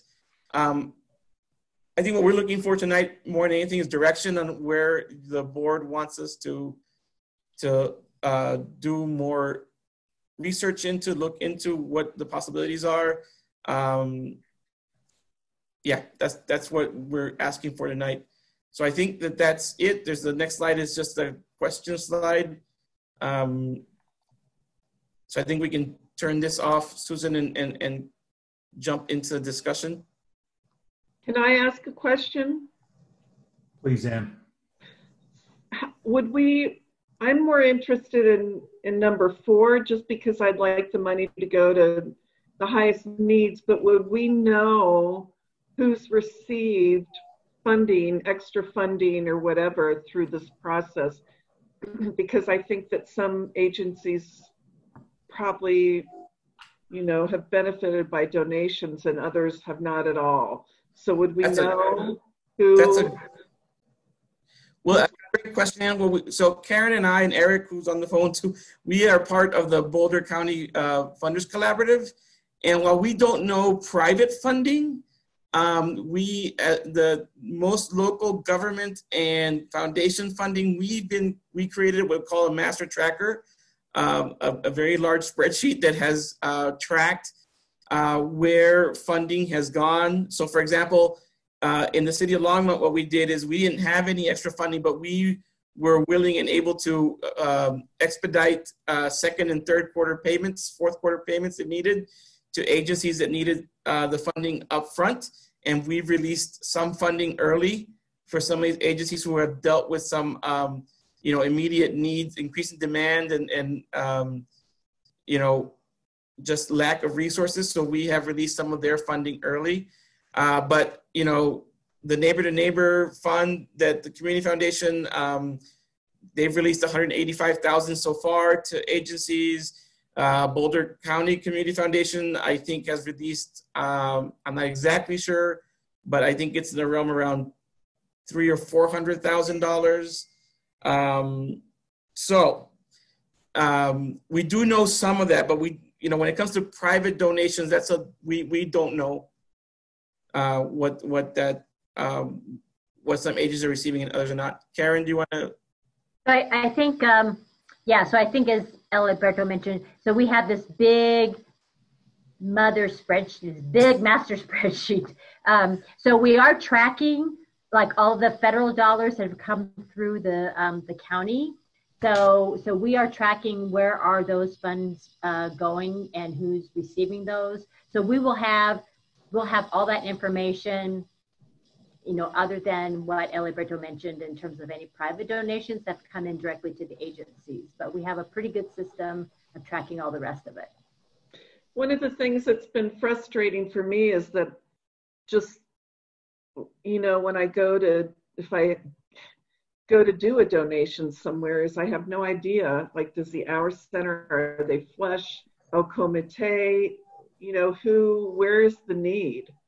Um, it's just difficult and i i just would like the money to go to the places that can use it the most i guess i think the other thing that I would like add I add to that Anne is that um, we have also been uh, distributing or asking agencies to give us feedback from surveys and saying, you know, what are what your needs, what are you struggling with, so we actually have a lot of data at our disposal that we've been tracking around, you know, which which agencies are are struggling in what um, what areas. And just as a, as an example, with the with the um, the family resource centers, um, so we, we kind of have an idea of, and they've indicated how much money that they have available for, say, direct financial assistance. And and and so you can really see who has been more successful in raising additional monies. And actually it's the OUR Center that we've had uh, chats about is is probably the agency that has the smallest amount of money available right now for individual assistance needs so so we do we do have a lot of data and um, that can help inform the advisory board if you wanted to go with this option that helps to focus money on the impact of the pandemic, um, we do have a lot of data at our at our disposal that will help inform that. It just would be so nice if they put that in the paper for just regular people that want to, you know, help with this or that. You know, it's very confusing. Like even if it's twenty five dollars or bring some food or whatever, um, it just it's not really been there. And I think it's a missed opportunity. Thank you, Anne. So let's go with Jake and then Council Member Christensen. Just a quick question, Karen uh, Eliberto. Thank you, Mr. Chair. Uh, are we just on that big spreadsheet you mentioned? Are we just tracking agencies that we've funded or applicants, or are we tracking every dollar that comes down from to nonprofits from the feds?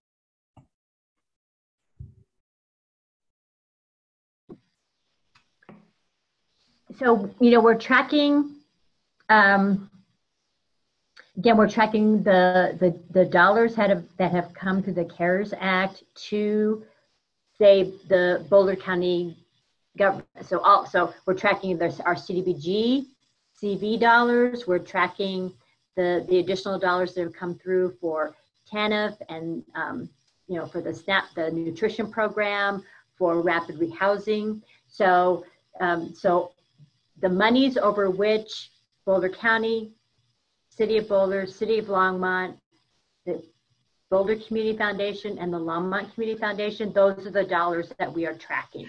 Great, thank you. I was just curious if we were we were we're tracking everything. It sounds like not just the 25 or some odd funded agencies we had last year. Great. Every everything that's coming through, right? Great, Right. thank you. Thank you. Polly?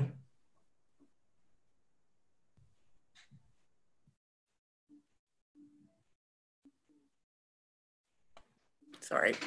Um, I, I guess I, I see what you're doing. I like the fact that you're giving us four choices. Um, I think there's a great deal of money coming in from hither and yon that has to do with COVID. For the sake of the agencies, I think it would be best to go with number one so that they they don't have to stress out on top of everything else that they're going to lose their funding because of whatever you know every year this is incredibly stressful for them and um, i think uh, there are organizations that may not be appearing to be uh, affected by covid but i think virtually every single human service agency and provider is going to be stressed out by this. I would suggest that we just go with this so that they know that they are going to have, we hope, um, what they had last year. And then they can apply for extra funding uh, and grants um, to um, to different agencies that are doing that. Uh, for example, um, you know, most of these agencies have fundraisers. OUR Center has a big fundraiser. Hope has a big fundraiser. Um, El Comite has a big fundraiser. They had to call that off. So they have no, no big excise, ex, you know, no big bucks coming in. Meanwhile, what they're dealing with is people who um, a household will come in. Two members of that household have already died of uh, COVID they're living together because some of them lost their jobs. Um, they are, because these are jobs that are maybe gig economy, they're not going to be eligible probably for um, the $1,200 help or the unemployment or any of this stuff. So people are living, people who are low income are, are in this community and everywhere else in this country, uh, particularly minority people are losing are m- much more highly impacted by this. And the service agencies that do that are uh, working even harder. And so i would suggest that we just give them a break and say okay we're just going to fund you the way we did last year if we can and we'll we'll deal with it next year but here are these other agencies other places you can get supplementary funds for all the stuff that you're doing relative to COVID. Focusing on COVID for the next two years is, to me, um, kind of short-sighted. I mean, I, I know it's a big, serious thing, but it will not last forever. And then we will have made a commitment of money to something that we don't know from day to day what's how this is going to play out. So, so it's just my opinion. Polly, well, let me answer, Polly. Did do you mean number one or number? Uh, that sounded more like number three, where we just. Oh, all right. The, the one where we we said, I don't have your slides right here. Um, the one where we said we will um, just for this year, we're not going to review you. We're going to give you what we did last year. Right, depending on funding availability. Okay. Okay, so let's let's do this. Um, so Anne, Graham, and then I, I, would like to hear from some of the board members who haven't weighed in on some of these issues. Uh, Karen and Deanna, if you could um, think about it, if you have questions as well. So go ahead, Anne. I just wonder, and maybe this is just thinking outside of the box or the responsibilities we have, but you know, I stopped giving any money recently because I don't know who to give it to. And it just, I don't know if there's some way that the city or the county or someone could say these are the agencies. Like I, I understand what um, Polly is saying that yes, I mean I, I get that now that if we want to take all the money away from all those agencies, they won't be up and running. So I, I can understand that part of it. But for me, just as a citizen, I don't know who to give my $25 or my $100 to because there's no one that says these are the agencies that are really hurting. And maybe just creating that along with what we're going to do, I don't know. I just like that. Like these are the agencies like El Comite or whoever it may be that really does need help and then maybe i guess we can't track that because it's private but I just, that's frustrating for me, not knowing who's flush with money and not. So echoing Brian's statement, if only we had somebody from the Longmont Community Foundation that talks to these agencies on a daily basis, knows what they're going through. So I, on that note, Eliberto, I, um, is there any reason we can't invite Eric to weigh in on some of these issues after we've all had our discussion? I, I'm unaware of any procedural elements that would prevent that. I think that's up to the, the chair to determine. So if you want to invite, invite comment, I think that's fine. I, I know the chair pretty well, so we'll probably do that. Uh, so let's go with Graham and then Karen and then Deanna. Okay, thanks, Mr. Chair. Um, I feel like there has to be some kind of process of accountability to check in with these organizations before we give them money. I'm I'm fine with using last year's sort of priorities as a good baseline and not sort of overreacting to the COVID thing and restructuring human service funding. But I do think there needs to be some manner of check-in, some application process. I think we should probably try to simplify it, you know, make it simpler on the organization that's going to be stressed and us, and not try to force this. Um, this what was it, the EIC system, um, and certainly give them an opportunity to to voice increased needs as a result of COVID. But um, yeah, I, my vote is to have some kind of application process still in place. I guess my question about the postponing is one, is that going to help organizations that might otherwise struggle to meet the deadline? And two, would postponing the application process postpone them receiving the funds? So if the organizations are injured by postponing, I would not vote for that. But if there's no net negative impact on the, the nonprofits by postponing, I my vote is to postpone, have an application and review process using, you know, technology or not at the time. It doesn't matter. But yeah, that's what I got. Thanks. Thank you, Graham. Karen?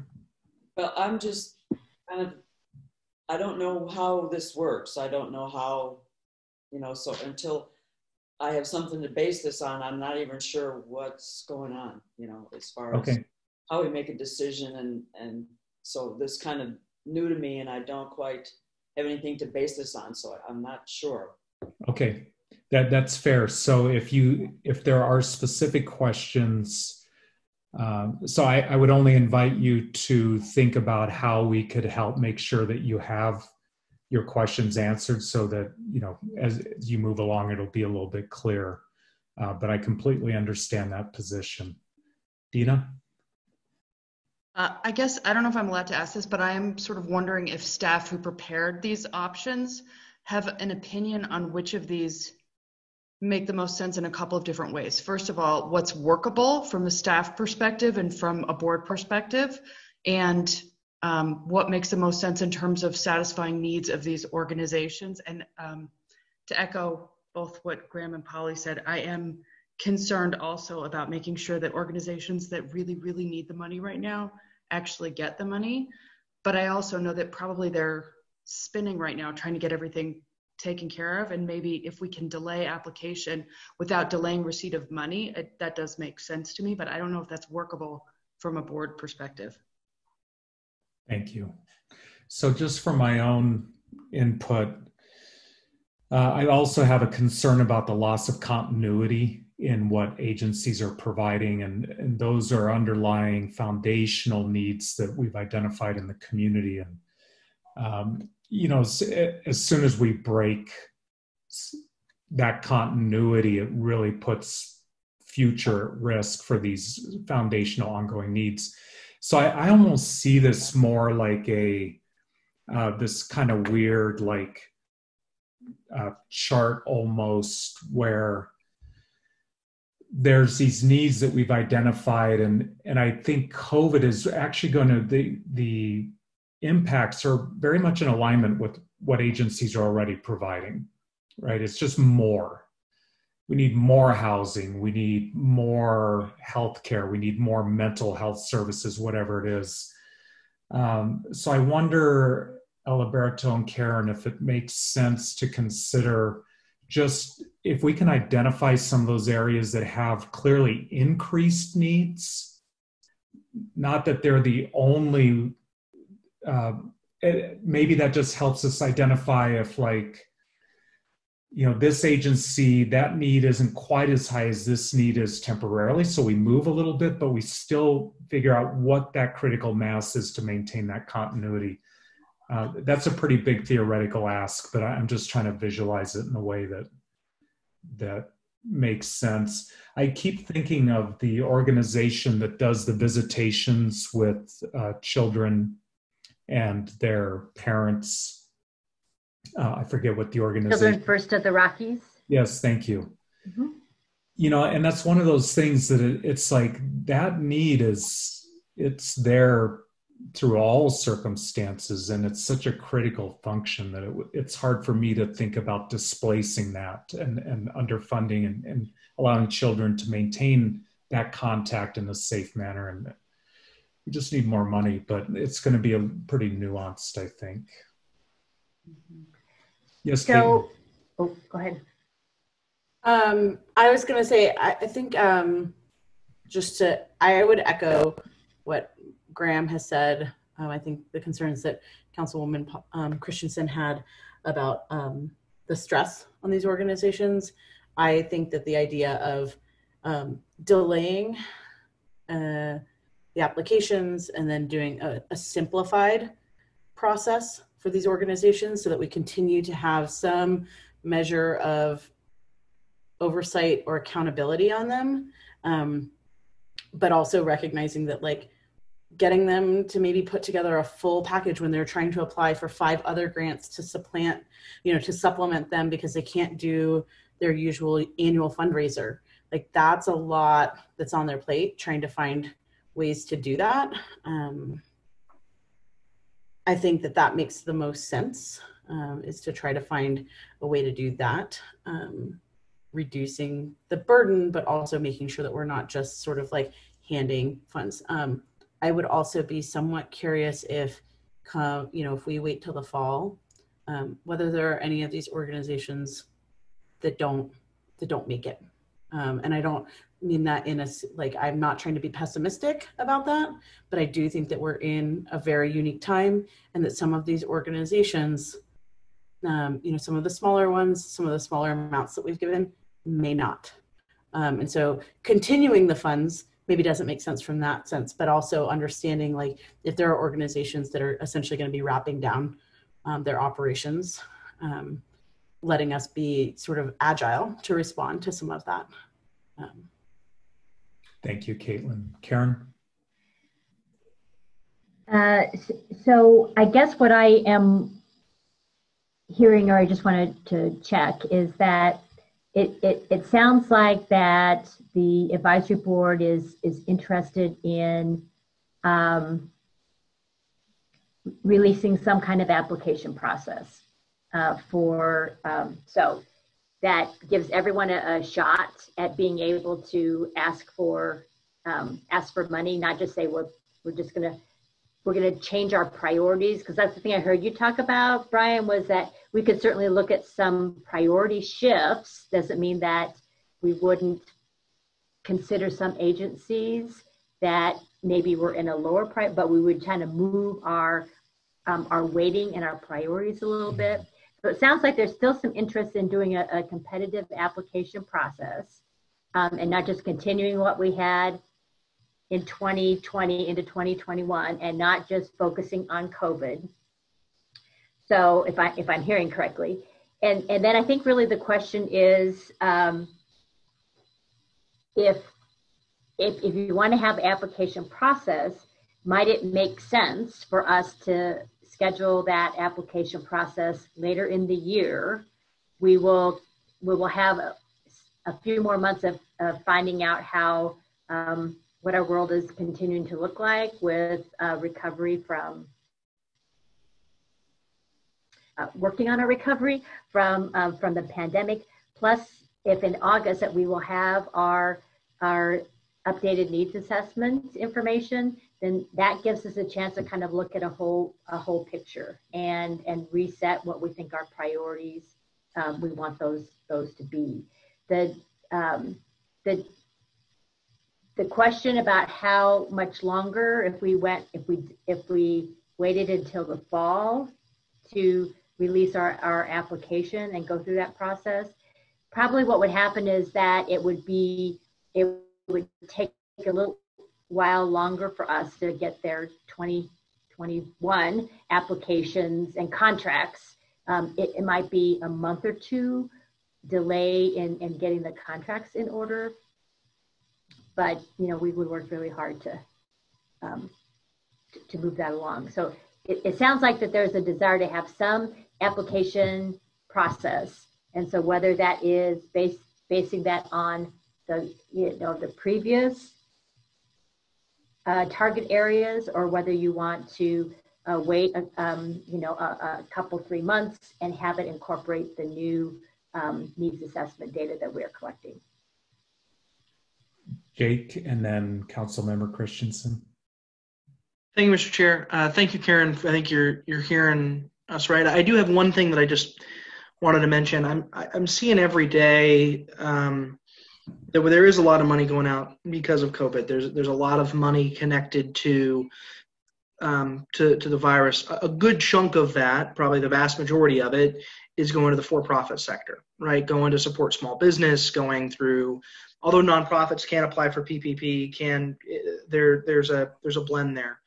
I think ultimately what this process is in the human services funding is it's designed to support nonprofit agencies who are meeting community need here in the city of Longmont.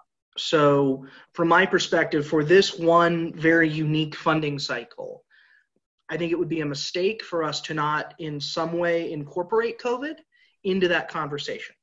Um, I, I, I, came into this kind of very much set on option four, but I think Councilmember Christensen made a great point which is we need to support agencies that that are continuing to that are, that are having a hard time. So my preference, just to get it out, would be that we do an application process, that we delay that application process until we can get um, the human services needs assessment back, but that that process also in some part of the matrix. It doesn't have to be the number one priority. It doesn't have to be anywhere. I would like agencies to be able to at least communicate to us how they're dealing with the COVID, how they how they're addressing need in the community, and then we can decide as a board how we want to weigh that into the overall decision on funding. That's ultimately our, our decision. So I think it would be delay the application process, absolutely have an application process. Graham is 100% right. I do not want to just extend contracts um, without being able to check in with some of these folks. Some of those agencies were right on the right on the line, and I want to see how folks are doing. I think Caitlin has a great point about you know seeing where folks are at in two to three months. So I think my preference would be you delay it, you incorporate COVID into the overall picture of funding without necessarily totally changing the structure, um, and make sure that's part of the application, and then we as a board do a do a competitive funding process. So that's my. I that's agree. Great, Councilmember Christensen. Um, yes, I like what Jake said. It's um, to just include as part of the application process a question on on what their how COVID has impacted them in their provision of services and what their new needs are.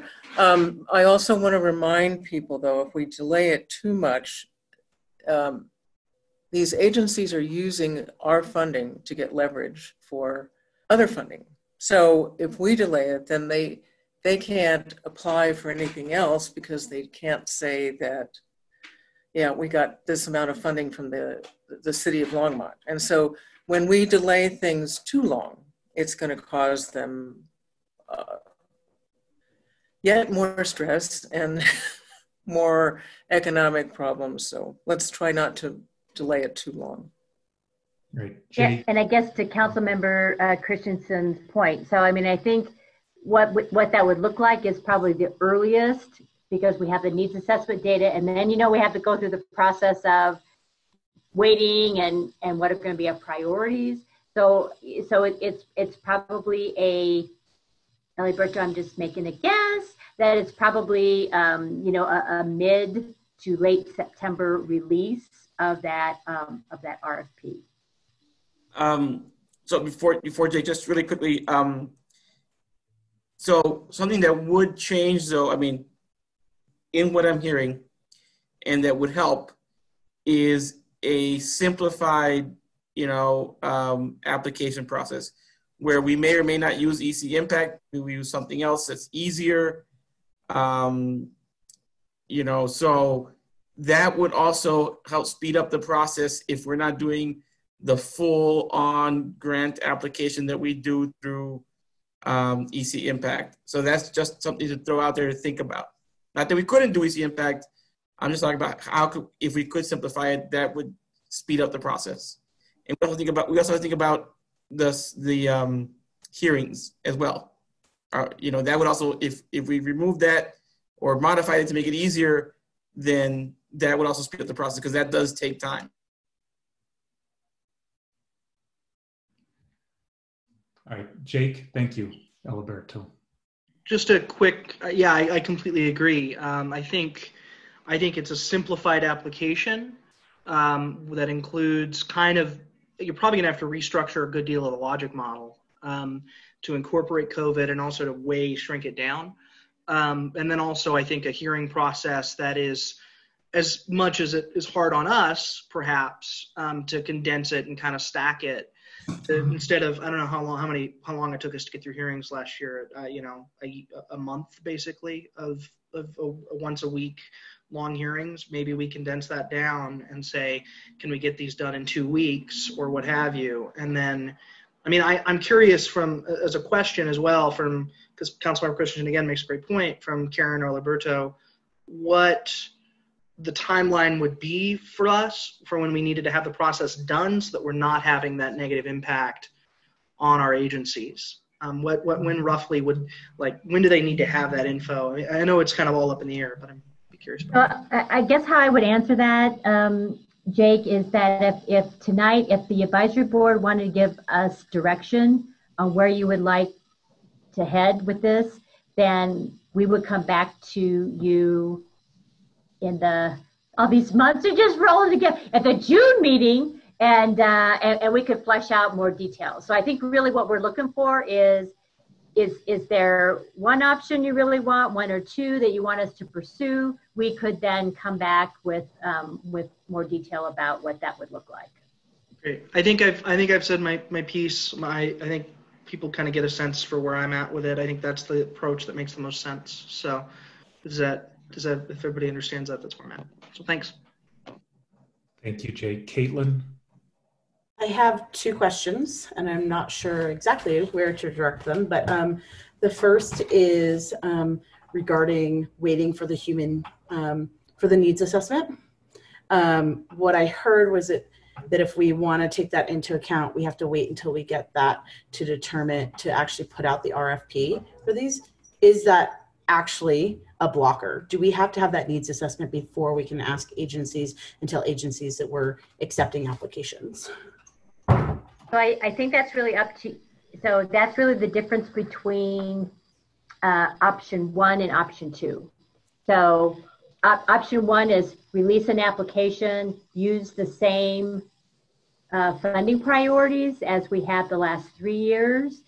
And option two is is have an application process, but use the new funding priorities from from the assessment, and then plus the e- either so one of those, you could incorporate the, the the COVID impact questions. So it's really about do you want to where would be a couple of months away from having fresh data about the needs in Longmont. So do you want to wait for that for a couple of months or you want to move forward with the with the, the data that is is about three and a half years old. And so that's really are, the change. Are those priorities incorporated in the application process to help applicants understand what the priorities are um, and how we're weighting them? Is that the, the gist of it? Is that we sort of have to specify what those priorities are to allow them to customize their applications accordingly?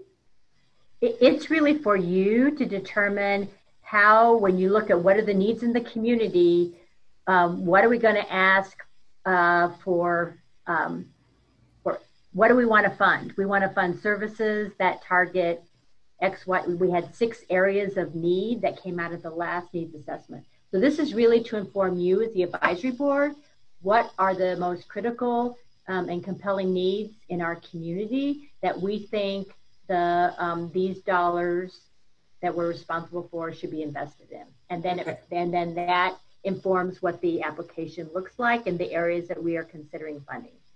Um, so my follow-up question to that is, do we have a sense from any of the draft or the information that we have so far if there is a any kind of dramatic shift in what those are or would be? Because it seems to me like those areas that we've talked about that are the needs, I could see maybe them shuffling a little bit in terms of like which one is the top one, but not necessarily something one of those six things dropping off completely and being replaced by some need that we have not um, previously prioritized.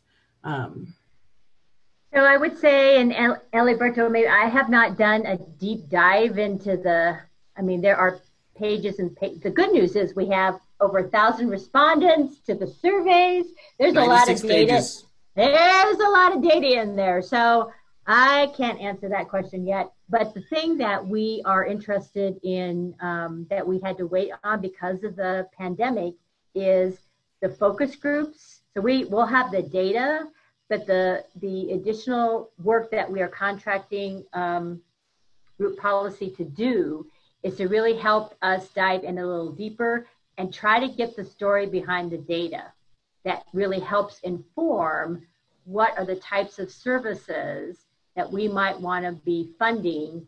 Um, so it just it makes the data richer by um, helping our community members interpret what that really means. Got it. Um, the second question that I had um, was when we were talking about this about the hearing process, um, and I'm curious if we have the ability to, um, for example, um, not I guess if we have to condense it down to change who we hear from. So, for example, if an agency comes in and is sort of like everything's basically the same, we're meeting the same needs, everything is fine, like we're asking for the same amounts, do we necessarily need to hear from those folks or the folks where it's changing a lot? Um, do we have the ability to sort of um, make that determination or do we have to hear from everybody um, as part of that process? So uh, this is Karen again. So I would say that uh, the the hearing process is really uh, up to the advisory board to um, to determine. I would say that um, for consistency's sake, again, um, that because these are these are city and tax dollars, that that whatever you decide to apply in terms of your funding process, that you really um, do that um, consistently and equitably among the agencies. How you um, how you want to do that and the process you want to develop is really up to you. Great, thank you very much. Thank you. So we are running out of time, Deanna. Just quickly, I'm not sure I really understood the answer to this question, but in terms of delaying the application, impacting the receipt of funds by organizations. If we delay the application by a couple of months, are we automatically delaying the receipt of funds by a couple of months? Or can we compact the hearing process and maybe the gathering of information through the application process sufficiently to sort of offset that delay? Or is it just unavoidable from a staff perspective that that delay is going to happen? You know, if you give us some direction, we, we will certainly look at that. Most of the, um, the, the challenge is, I mean, is in the contracting process. So it, it takes a while because we have to create individual scopes of work for each of the individual agencies. There's a negotiation back and forth. Then it, then we get every contract review by our city attorney's office. So it just takes us a little while to move through that we do that as fast as we can, but we're not the only ones that have a hand in that. So it depends on how fast the agencies get back to us. Um, and sometimes that doesn't, we have to wait in terms of, you know, their work. And then our attorney's office also has to approve all the contracts. But so that's really, it, it takes, it takes a, a little while to, um, to once we get the approval from council that they're good with the, what we're recommending, Um, and it doesn't mean that we can't expedite it on the front end. So we can certainly work in the front end with the boilerplate plate contract with our attorneys for 2021. That we could get done early. And then it's really just around the negotiation of the scopes of work for each of the individual agencies. And like this year, we had, I don't know, 30, 35 contracts. So it just, it just takes a little, it takes a little while. So that, that, if that helps. Thank you, Karen. Jake? Thank you, Mr. Chair. Um, so uh, just to, for clarification, do you need a motion and a vote on one of these options? Is that what staff is asking for? You're, Karen, you're, you're muted. I'm sorry, sorry. I was unmuted and I muted. Yes, we would Okay. like some direction. Okay, I, I'm gonna put this out. Okay, so I, I, I feel like because we had so many people, so many of our residents become a part of the survey process, because we would be a couple of months out from getting new data, which we don't know if it's going to be substantially different or not at this point. We need to make a decision now. I want to go ahead and move uh, option two, which would be to delay, um, with the assumption and the belief that there will be some COVID element as a part of that application, um, as a part of the overall application. So that's that's my motion, and I'll look for a second. All right, is there a second? Deanna? Okay, we have a second. Uh, okay, so discussion. Any discussion on the motion? Anne? How far are you saying to delay? Because that concerns me. I is that right, Mr. Chair? If I yeah, um, I would uh, think that delay makes sense.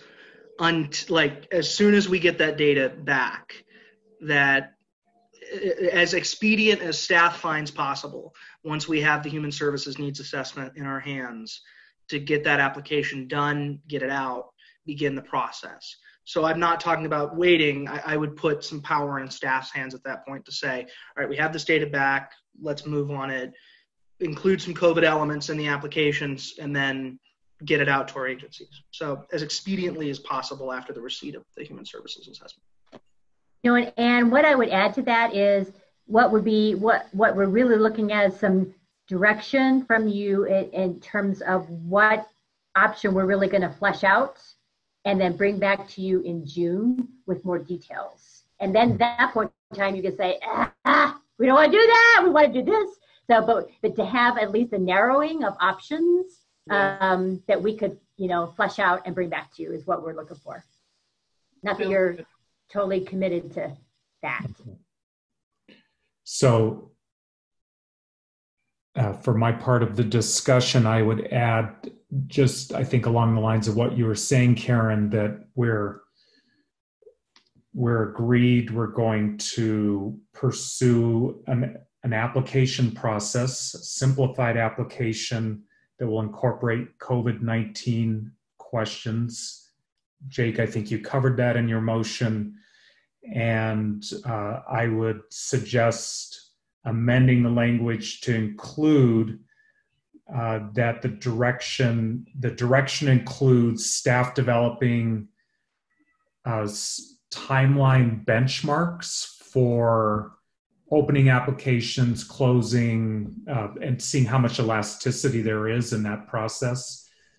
Uh, and then also, just as a comment, I wonder, Karen, with the contracts, you know, I think the the interviews we need to do, it's possible for those agencies that have existing contracts this year that maybe that could be a way we could expedite that process is if the the scope of work changes but the contract language remains the same that, that's just a curiosity It- it- And, and what I would say, Brian, is that the contract, the boilerplate contract language doesn't really significantly change Yeah. from year to year.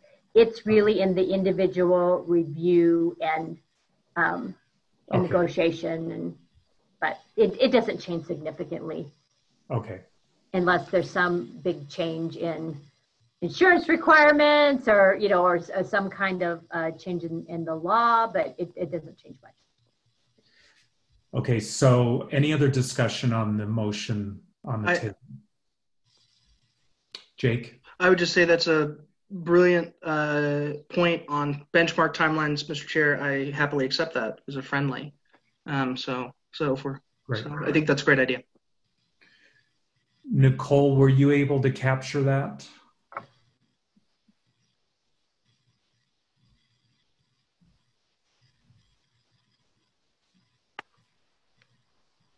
Sorry, my um, space bar isn't working to unmute me. I apologize. Um, yes, I believe I have it. So um, basically option two, delay until the needs assessment funding priorities with the assumption and belief that there will be a COVID element as part of the application and also a request for staff to develop a timeline benchmarks for opening and closing along with elasticity in that. And I would include a simplified application, please. Oh, yes. Great. Thank you. Okay. You're Let's welcome. take a vote. All in favor, please raise your hand.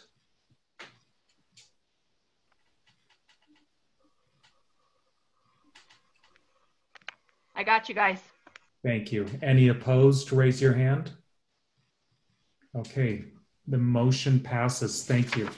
So we have, uh, I think, the site visit updates we should table until our next meeting. The update on Longmont Housing Authority, Karen, is that um, something you'd like to cover quickly? And I do want to invite Eric to just answer a few of the questions if he chooses to do so. So, um, so Mr. Chair, that is that is certainly up to you. It was a request of one of the advisory board members that we give an update on um, on really what's what's happening with the Longmont Housing Authority. So you can Let's tell me do if you want me to move forward or not. If you say make it 10 minutes, make it five minutes. I don't know if I can make it five minutes, but I can probably make it 10 minutes. So whatever you want, whatever you want me to do. Let's let's do it in 10 minutes. Hey, you want you want to do your timer? Well, it would give me some sense of purpose. Susan, if you would pull up the PowerPoint, that would be fabulous.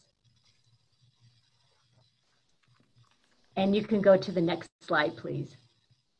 So, um, so, so basically, the the um, the the background is that we had um, the the city and the Longmont Housing Authority had been in conversation since the beginning part of this year about creating some kind of a, a different partnership between the two entities. Um, you, know, Jillian Baldwin, the director, came in about um, less than two years ago after the Longmont Housing Authority went through, uh, you know, kind of a, a crisis, and and she had really um, she she had worked really hard to try to uh, stabilize the Longmont Housing Authority.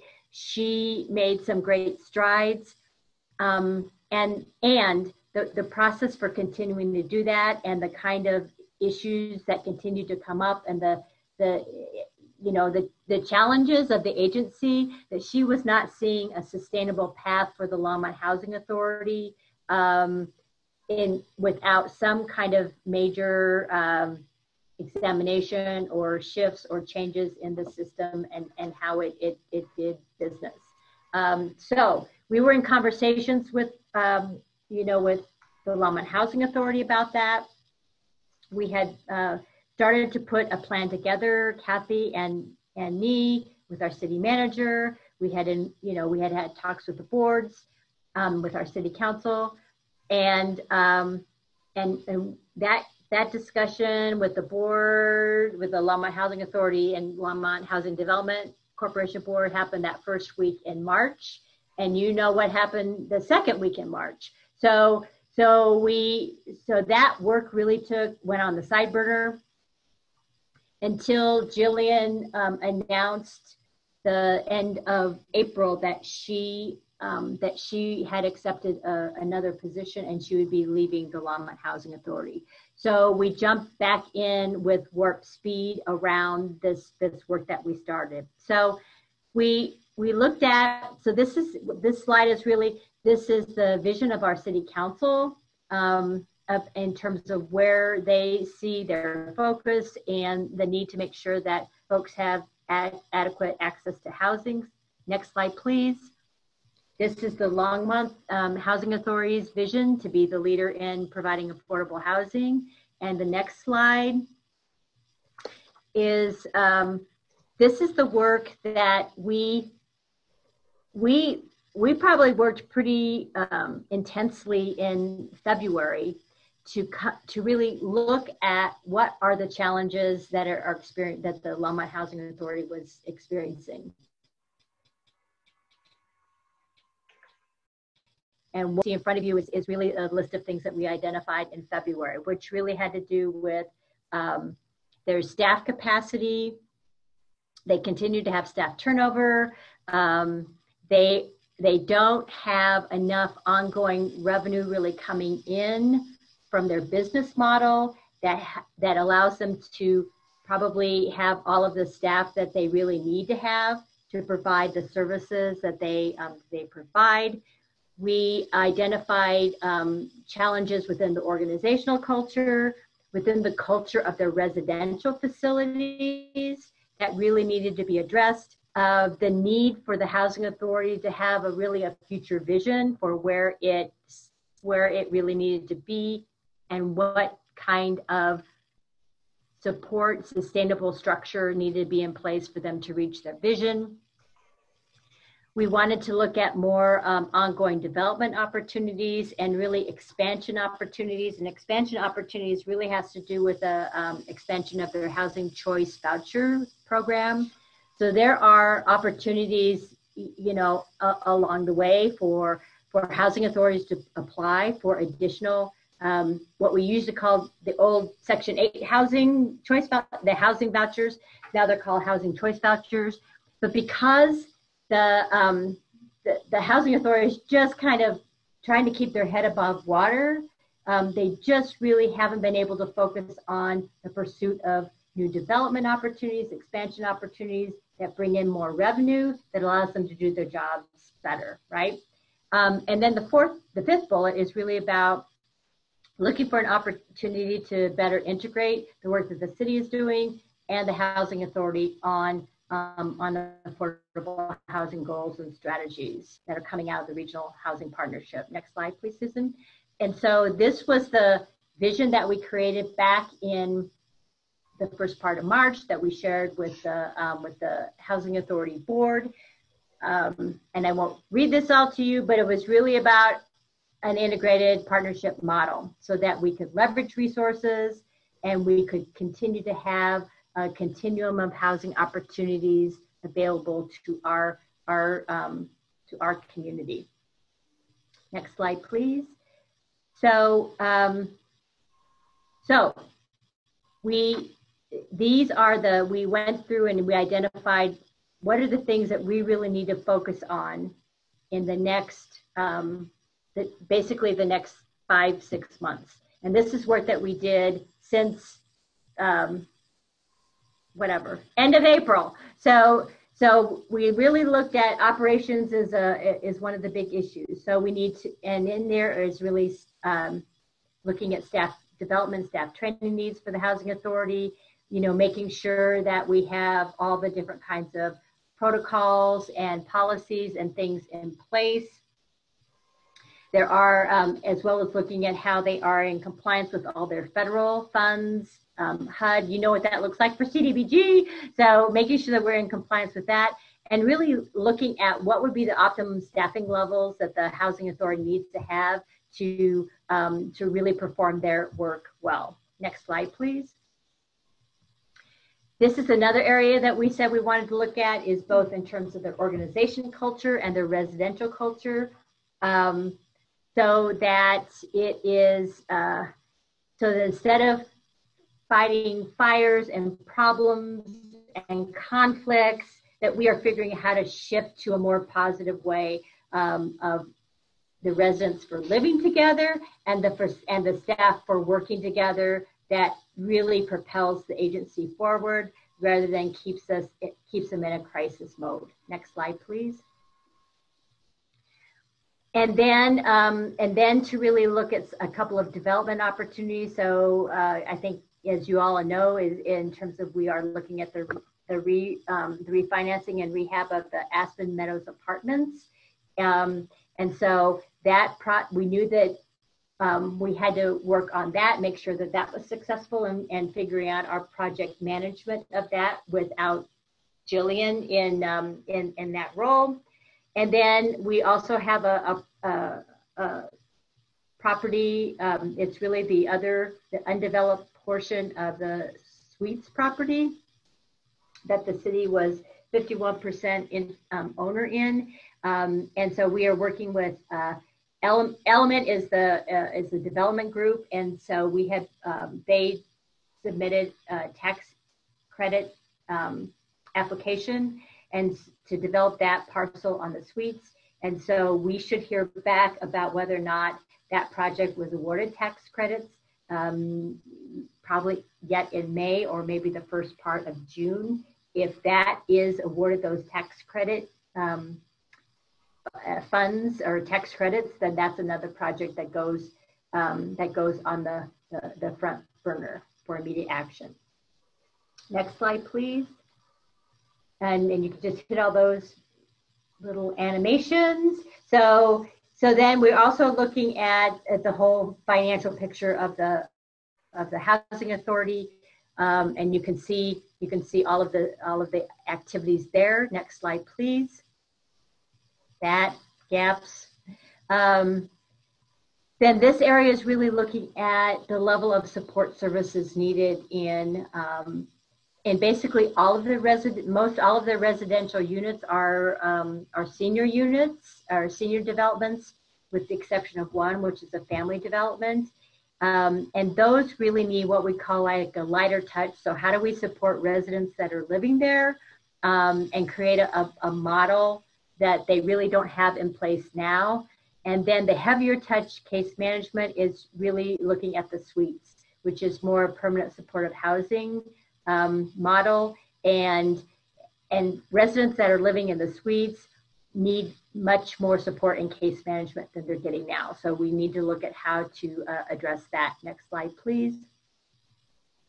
Um, and then and then kind of the those are the those are the things that are, are immediate action that we need to take care of in the next uh, few months, and then really look at um, the strategic planning board expectations, looking at how do we uh, really address and repair the, um, you know, the, the image of the, the housing authority, but we need to take care of all of those other immediate actions first to stabilize the, um, the Longmont Housing Authority. Next slide, please. And then continuing to look for the longer term about um, development opportunities, which I talked about initially. So your utilization and expansion, how do we have the Longmont Housing Authority be a, a stronger partner in our inclusionary housing efforts as the money comes in from inclusionary housing? You know, how do we establish the Longmont Housing Authority as a viable development partner?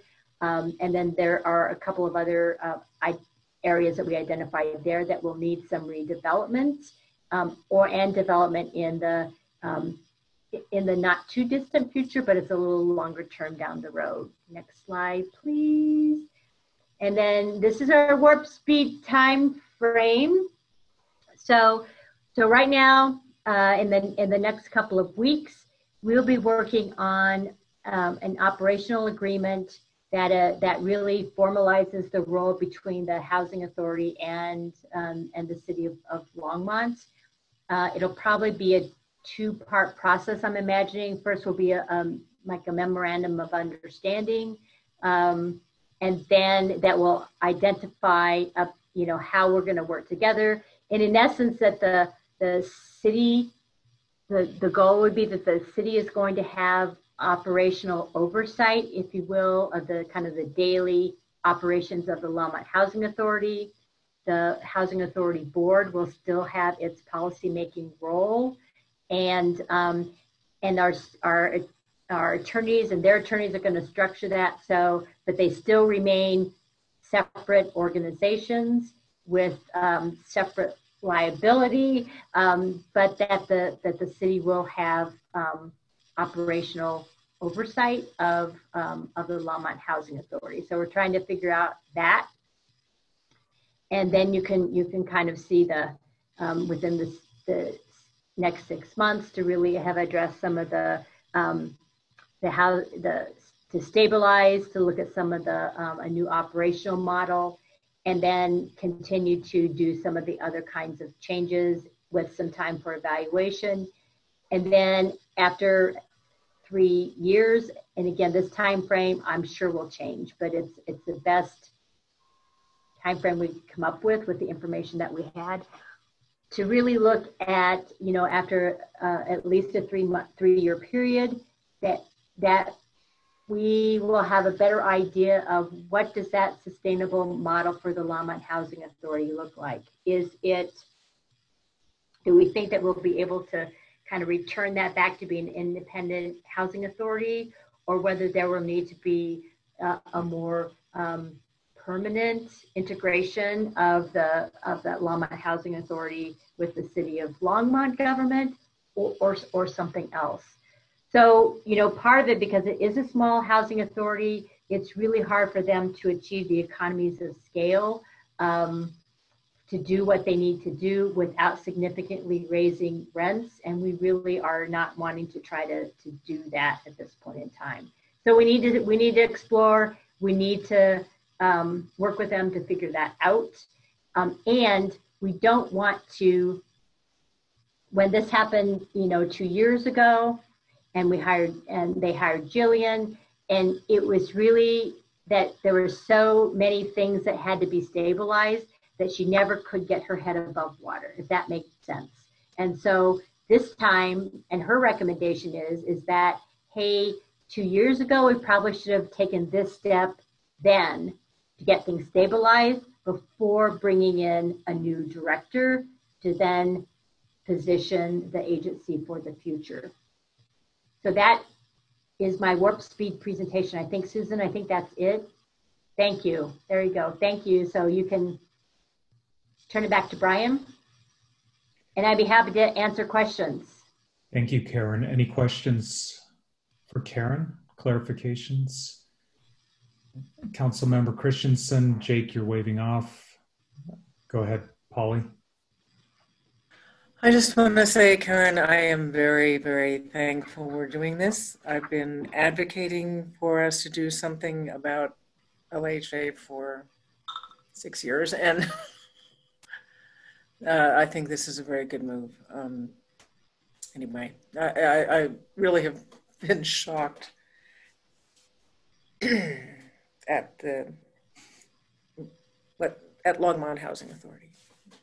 Eh, you know, and I think a lot of that is, well, so it's it's a lot of different things, and so we we just are. Um, it's it's a big heavy lift, just FYI. So so if you don't hear from Kathy and Karen for a while, you know what happened. Um, but it, it's going to take all of us really doing our best work together because we need the Longmont Housing Authority. They provide um, housing for our most vulnerable and our lowest income residents. We need them to be successful, and that's why we are all in. Thank you. Jake? Thank you, Karen, so much for the presentation. Uh, I was the one who asked for it, so I really appreciate um, I really appreciate that. It was a um, very thorough. I, I do have one quick question. Uh, just you mentioned it actually, just about capacity and about you know staff's ability to take this on. You know, I I, I'm, I'm continually amazed by your ability personally to just take keep taking stuff on and run with it in the in the whole department. Do can you just talk briefly a little bit more just about kind of the plan for leadership over LHA and oversight, and are you going to be the point person for LHA for the next period of time, or kind of what's the what's roughly the who, what's the leadership plan? Well, that that's uh, that's a great question for which I do not have an answer yet. Okay. Um, we are we are working at that now. I would say that we've identified it, it is it is going to be a team. It's going to be a team approach okay, great. for a while. Um, obviously, there are going to, you know, we're going to have to have some identified point people, um, but we are bringing in um, the best of the city staff that we have in the areas that we need, that we identified in terms of that discovery and opportunity. We'll probably bring in some consultation, some outside consultation uh, for certain aspects, and uh, and it it will be several city staff members along with Longmont Housing Authority staff members. Great. Um, Thank you, Karen, for that, and thanks for the work and for staff's work and taking that on. I'm with Councilmember Christensen completely. LHA has been in line for some reform for some time, so I'm glad to see the city taking it on. Thank you. Thank you. Caitlin?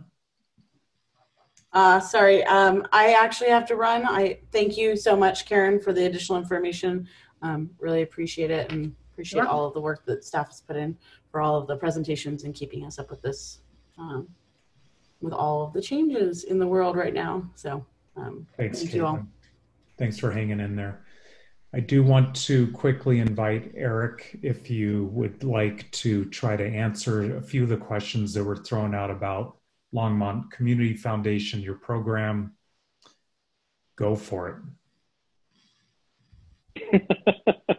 Thank you all. Actually, I want to commend you all on, uh, on the enormous responsibility you have to uh, make for dealing with the uh, funding and the responsibility that you undertake with the with the public dollars. So thank you very much for your service. Um, let's see. I think I think everybody was fairly spot on with their with their information about the uh, Strongmont Fund, which Karen, it's Strongmont Fund or Kathy. I think you said Strongmont Fund. It is indeed Strongmont Fund, uh, and that is for small businesses, uh, 25 employees or fewer, and it is um, uh, pending an assessment, really, all the businesses are encouraged to take an assessment before they actually can apply. Uh, we have received, when you look at the data, you look, you, uh, we're kind of hitting the groups we want to hit. So we're looking at minority businesses, veteran-owned businesses, women-owned businesses. So it's it's really exciting to look at the data um, uh, that has come through initially in that. That application will be ready to go on the 18th and the review committee will make those grants. Uh, the turnaround time is the 26th, is what we're looking at, May 26th to actually make those decisions. And we'll be, gosh, granting out those dollars shortly thereafter. Um, so we're looking at, uh, we, we are indeed raising money from public private dollars. And we're also using or being the housing or the hub for the, the other public dollars that are coming into that fund. Um, then finally, the Neighbor to Neighbor Fund. That is, uh, we've actually had two rounds of funding. We've raised about a quarter of a million dollars and have granted out $185,000 in two rounds of funding. And the third round will probably be sometime. Um, we actually had a board meeting this morning and we had talked about delaying the third round. Um, the sense is that uh, we reached a peak in donations to that and it's it's fallen pretty precipitously. Um, so we are kind of in the uh, kind of the final stage, if you will. But we want to see how things are in the environment right now for nonprofits. I think everybody aptly mentioned the fact that you know all organizations are hurting, and human services organizations that are even aren't really directly involved in COVID-19 relief are certainly hurting. Um, it's not unlike any other business. They are having to lay off people and reduce salaries and reduce staff. So it's not like your restaurants or anybody else in the community that's really suffering. So it will remain to be seen um, what happens to some of those organizations, but we expect that in the third round of funding, we're probably going to be looking at maybe issues of childcare, um, mental health, um, and maybe broadening it to expand to other organizations that are actually seeking general help to kind of bridge those loss of fundraising dollars right now. Um, that's essentially what I'd say. But I, I think the one thing I really am was really excited to hear is that you're all looking at simplicity in your application, which I encourage. I think that um, with shortened staffs and smaller staffs and overburdened staffs, I think it's really wise to to go with a shorter and, and simpler application. So thank you. Sorry for going on too long. No, that, that, that's great, Eric. Thank you. Any questions for Eric while we do have him on the line? Okay. Eric, I just want to say that, uh, you know, I, I, feel like the profile of Longmont Community Foundation has really increased during this time. And uh, I commend you on that, and particularly because I think that's a function of the fact that you really acted when it was needed. And uh, I, it's impressive. So thank you for everything that you're doing. Thank you.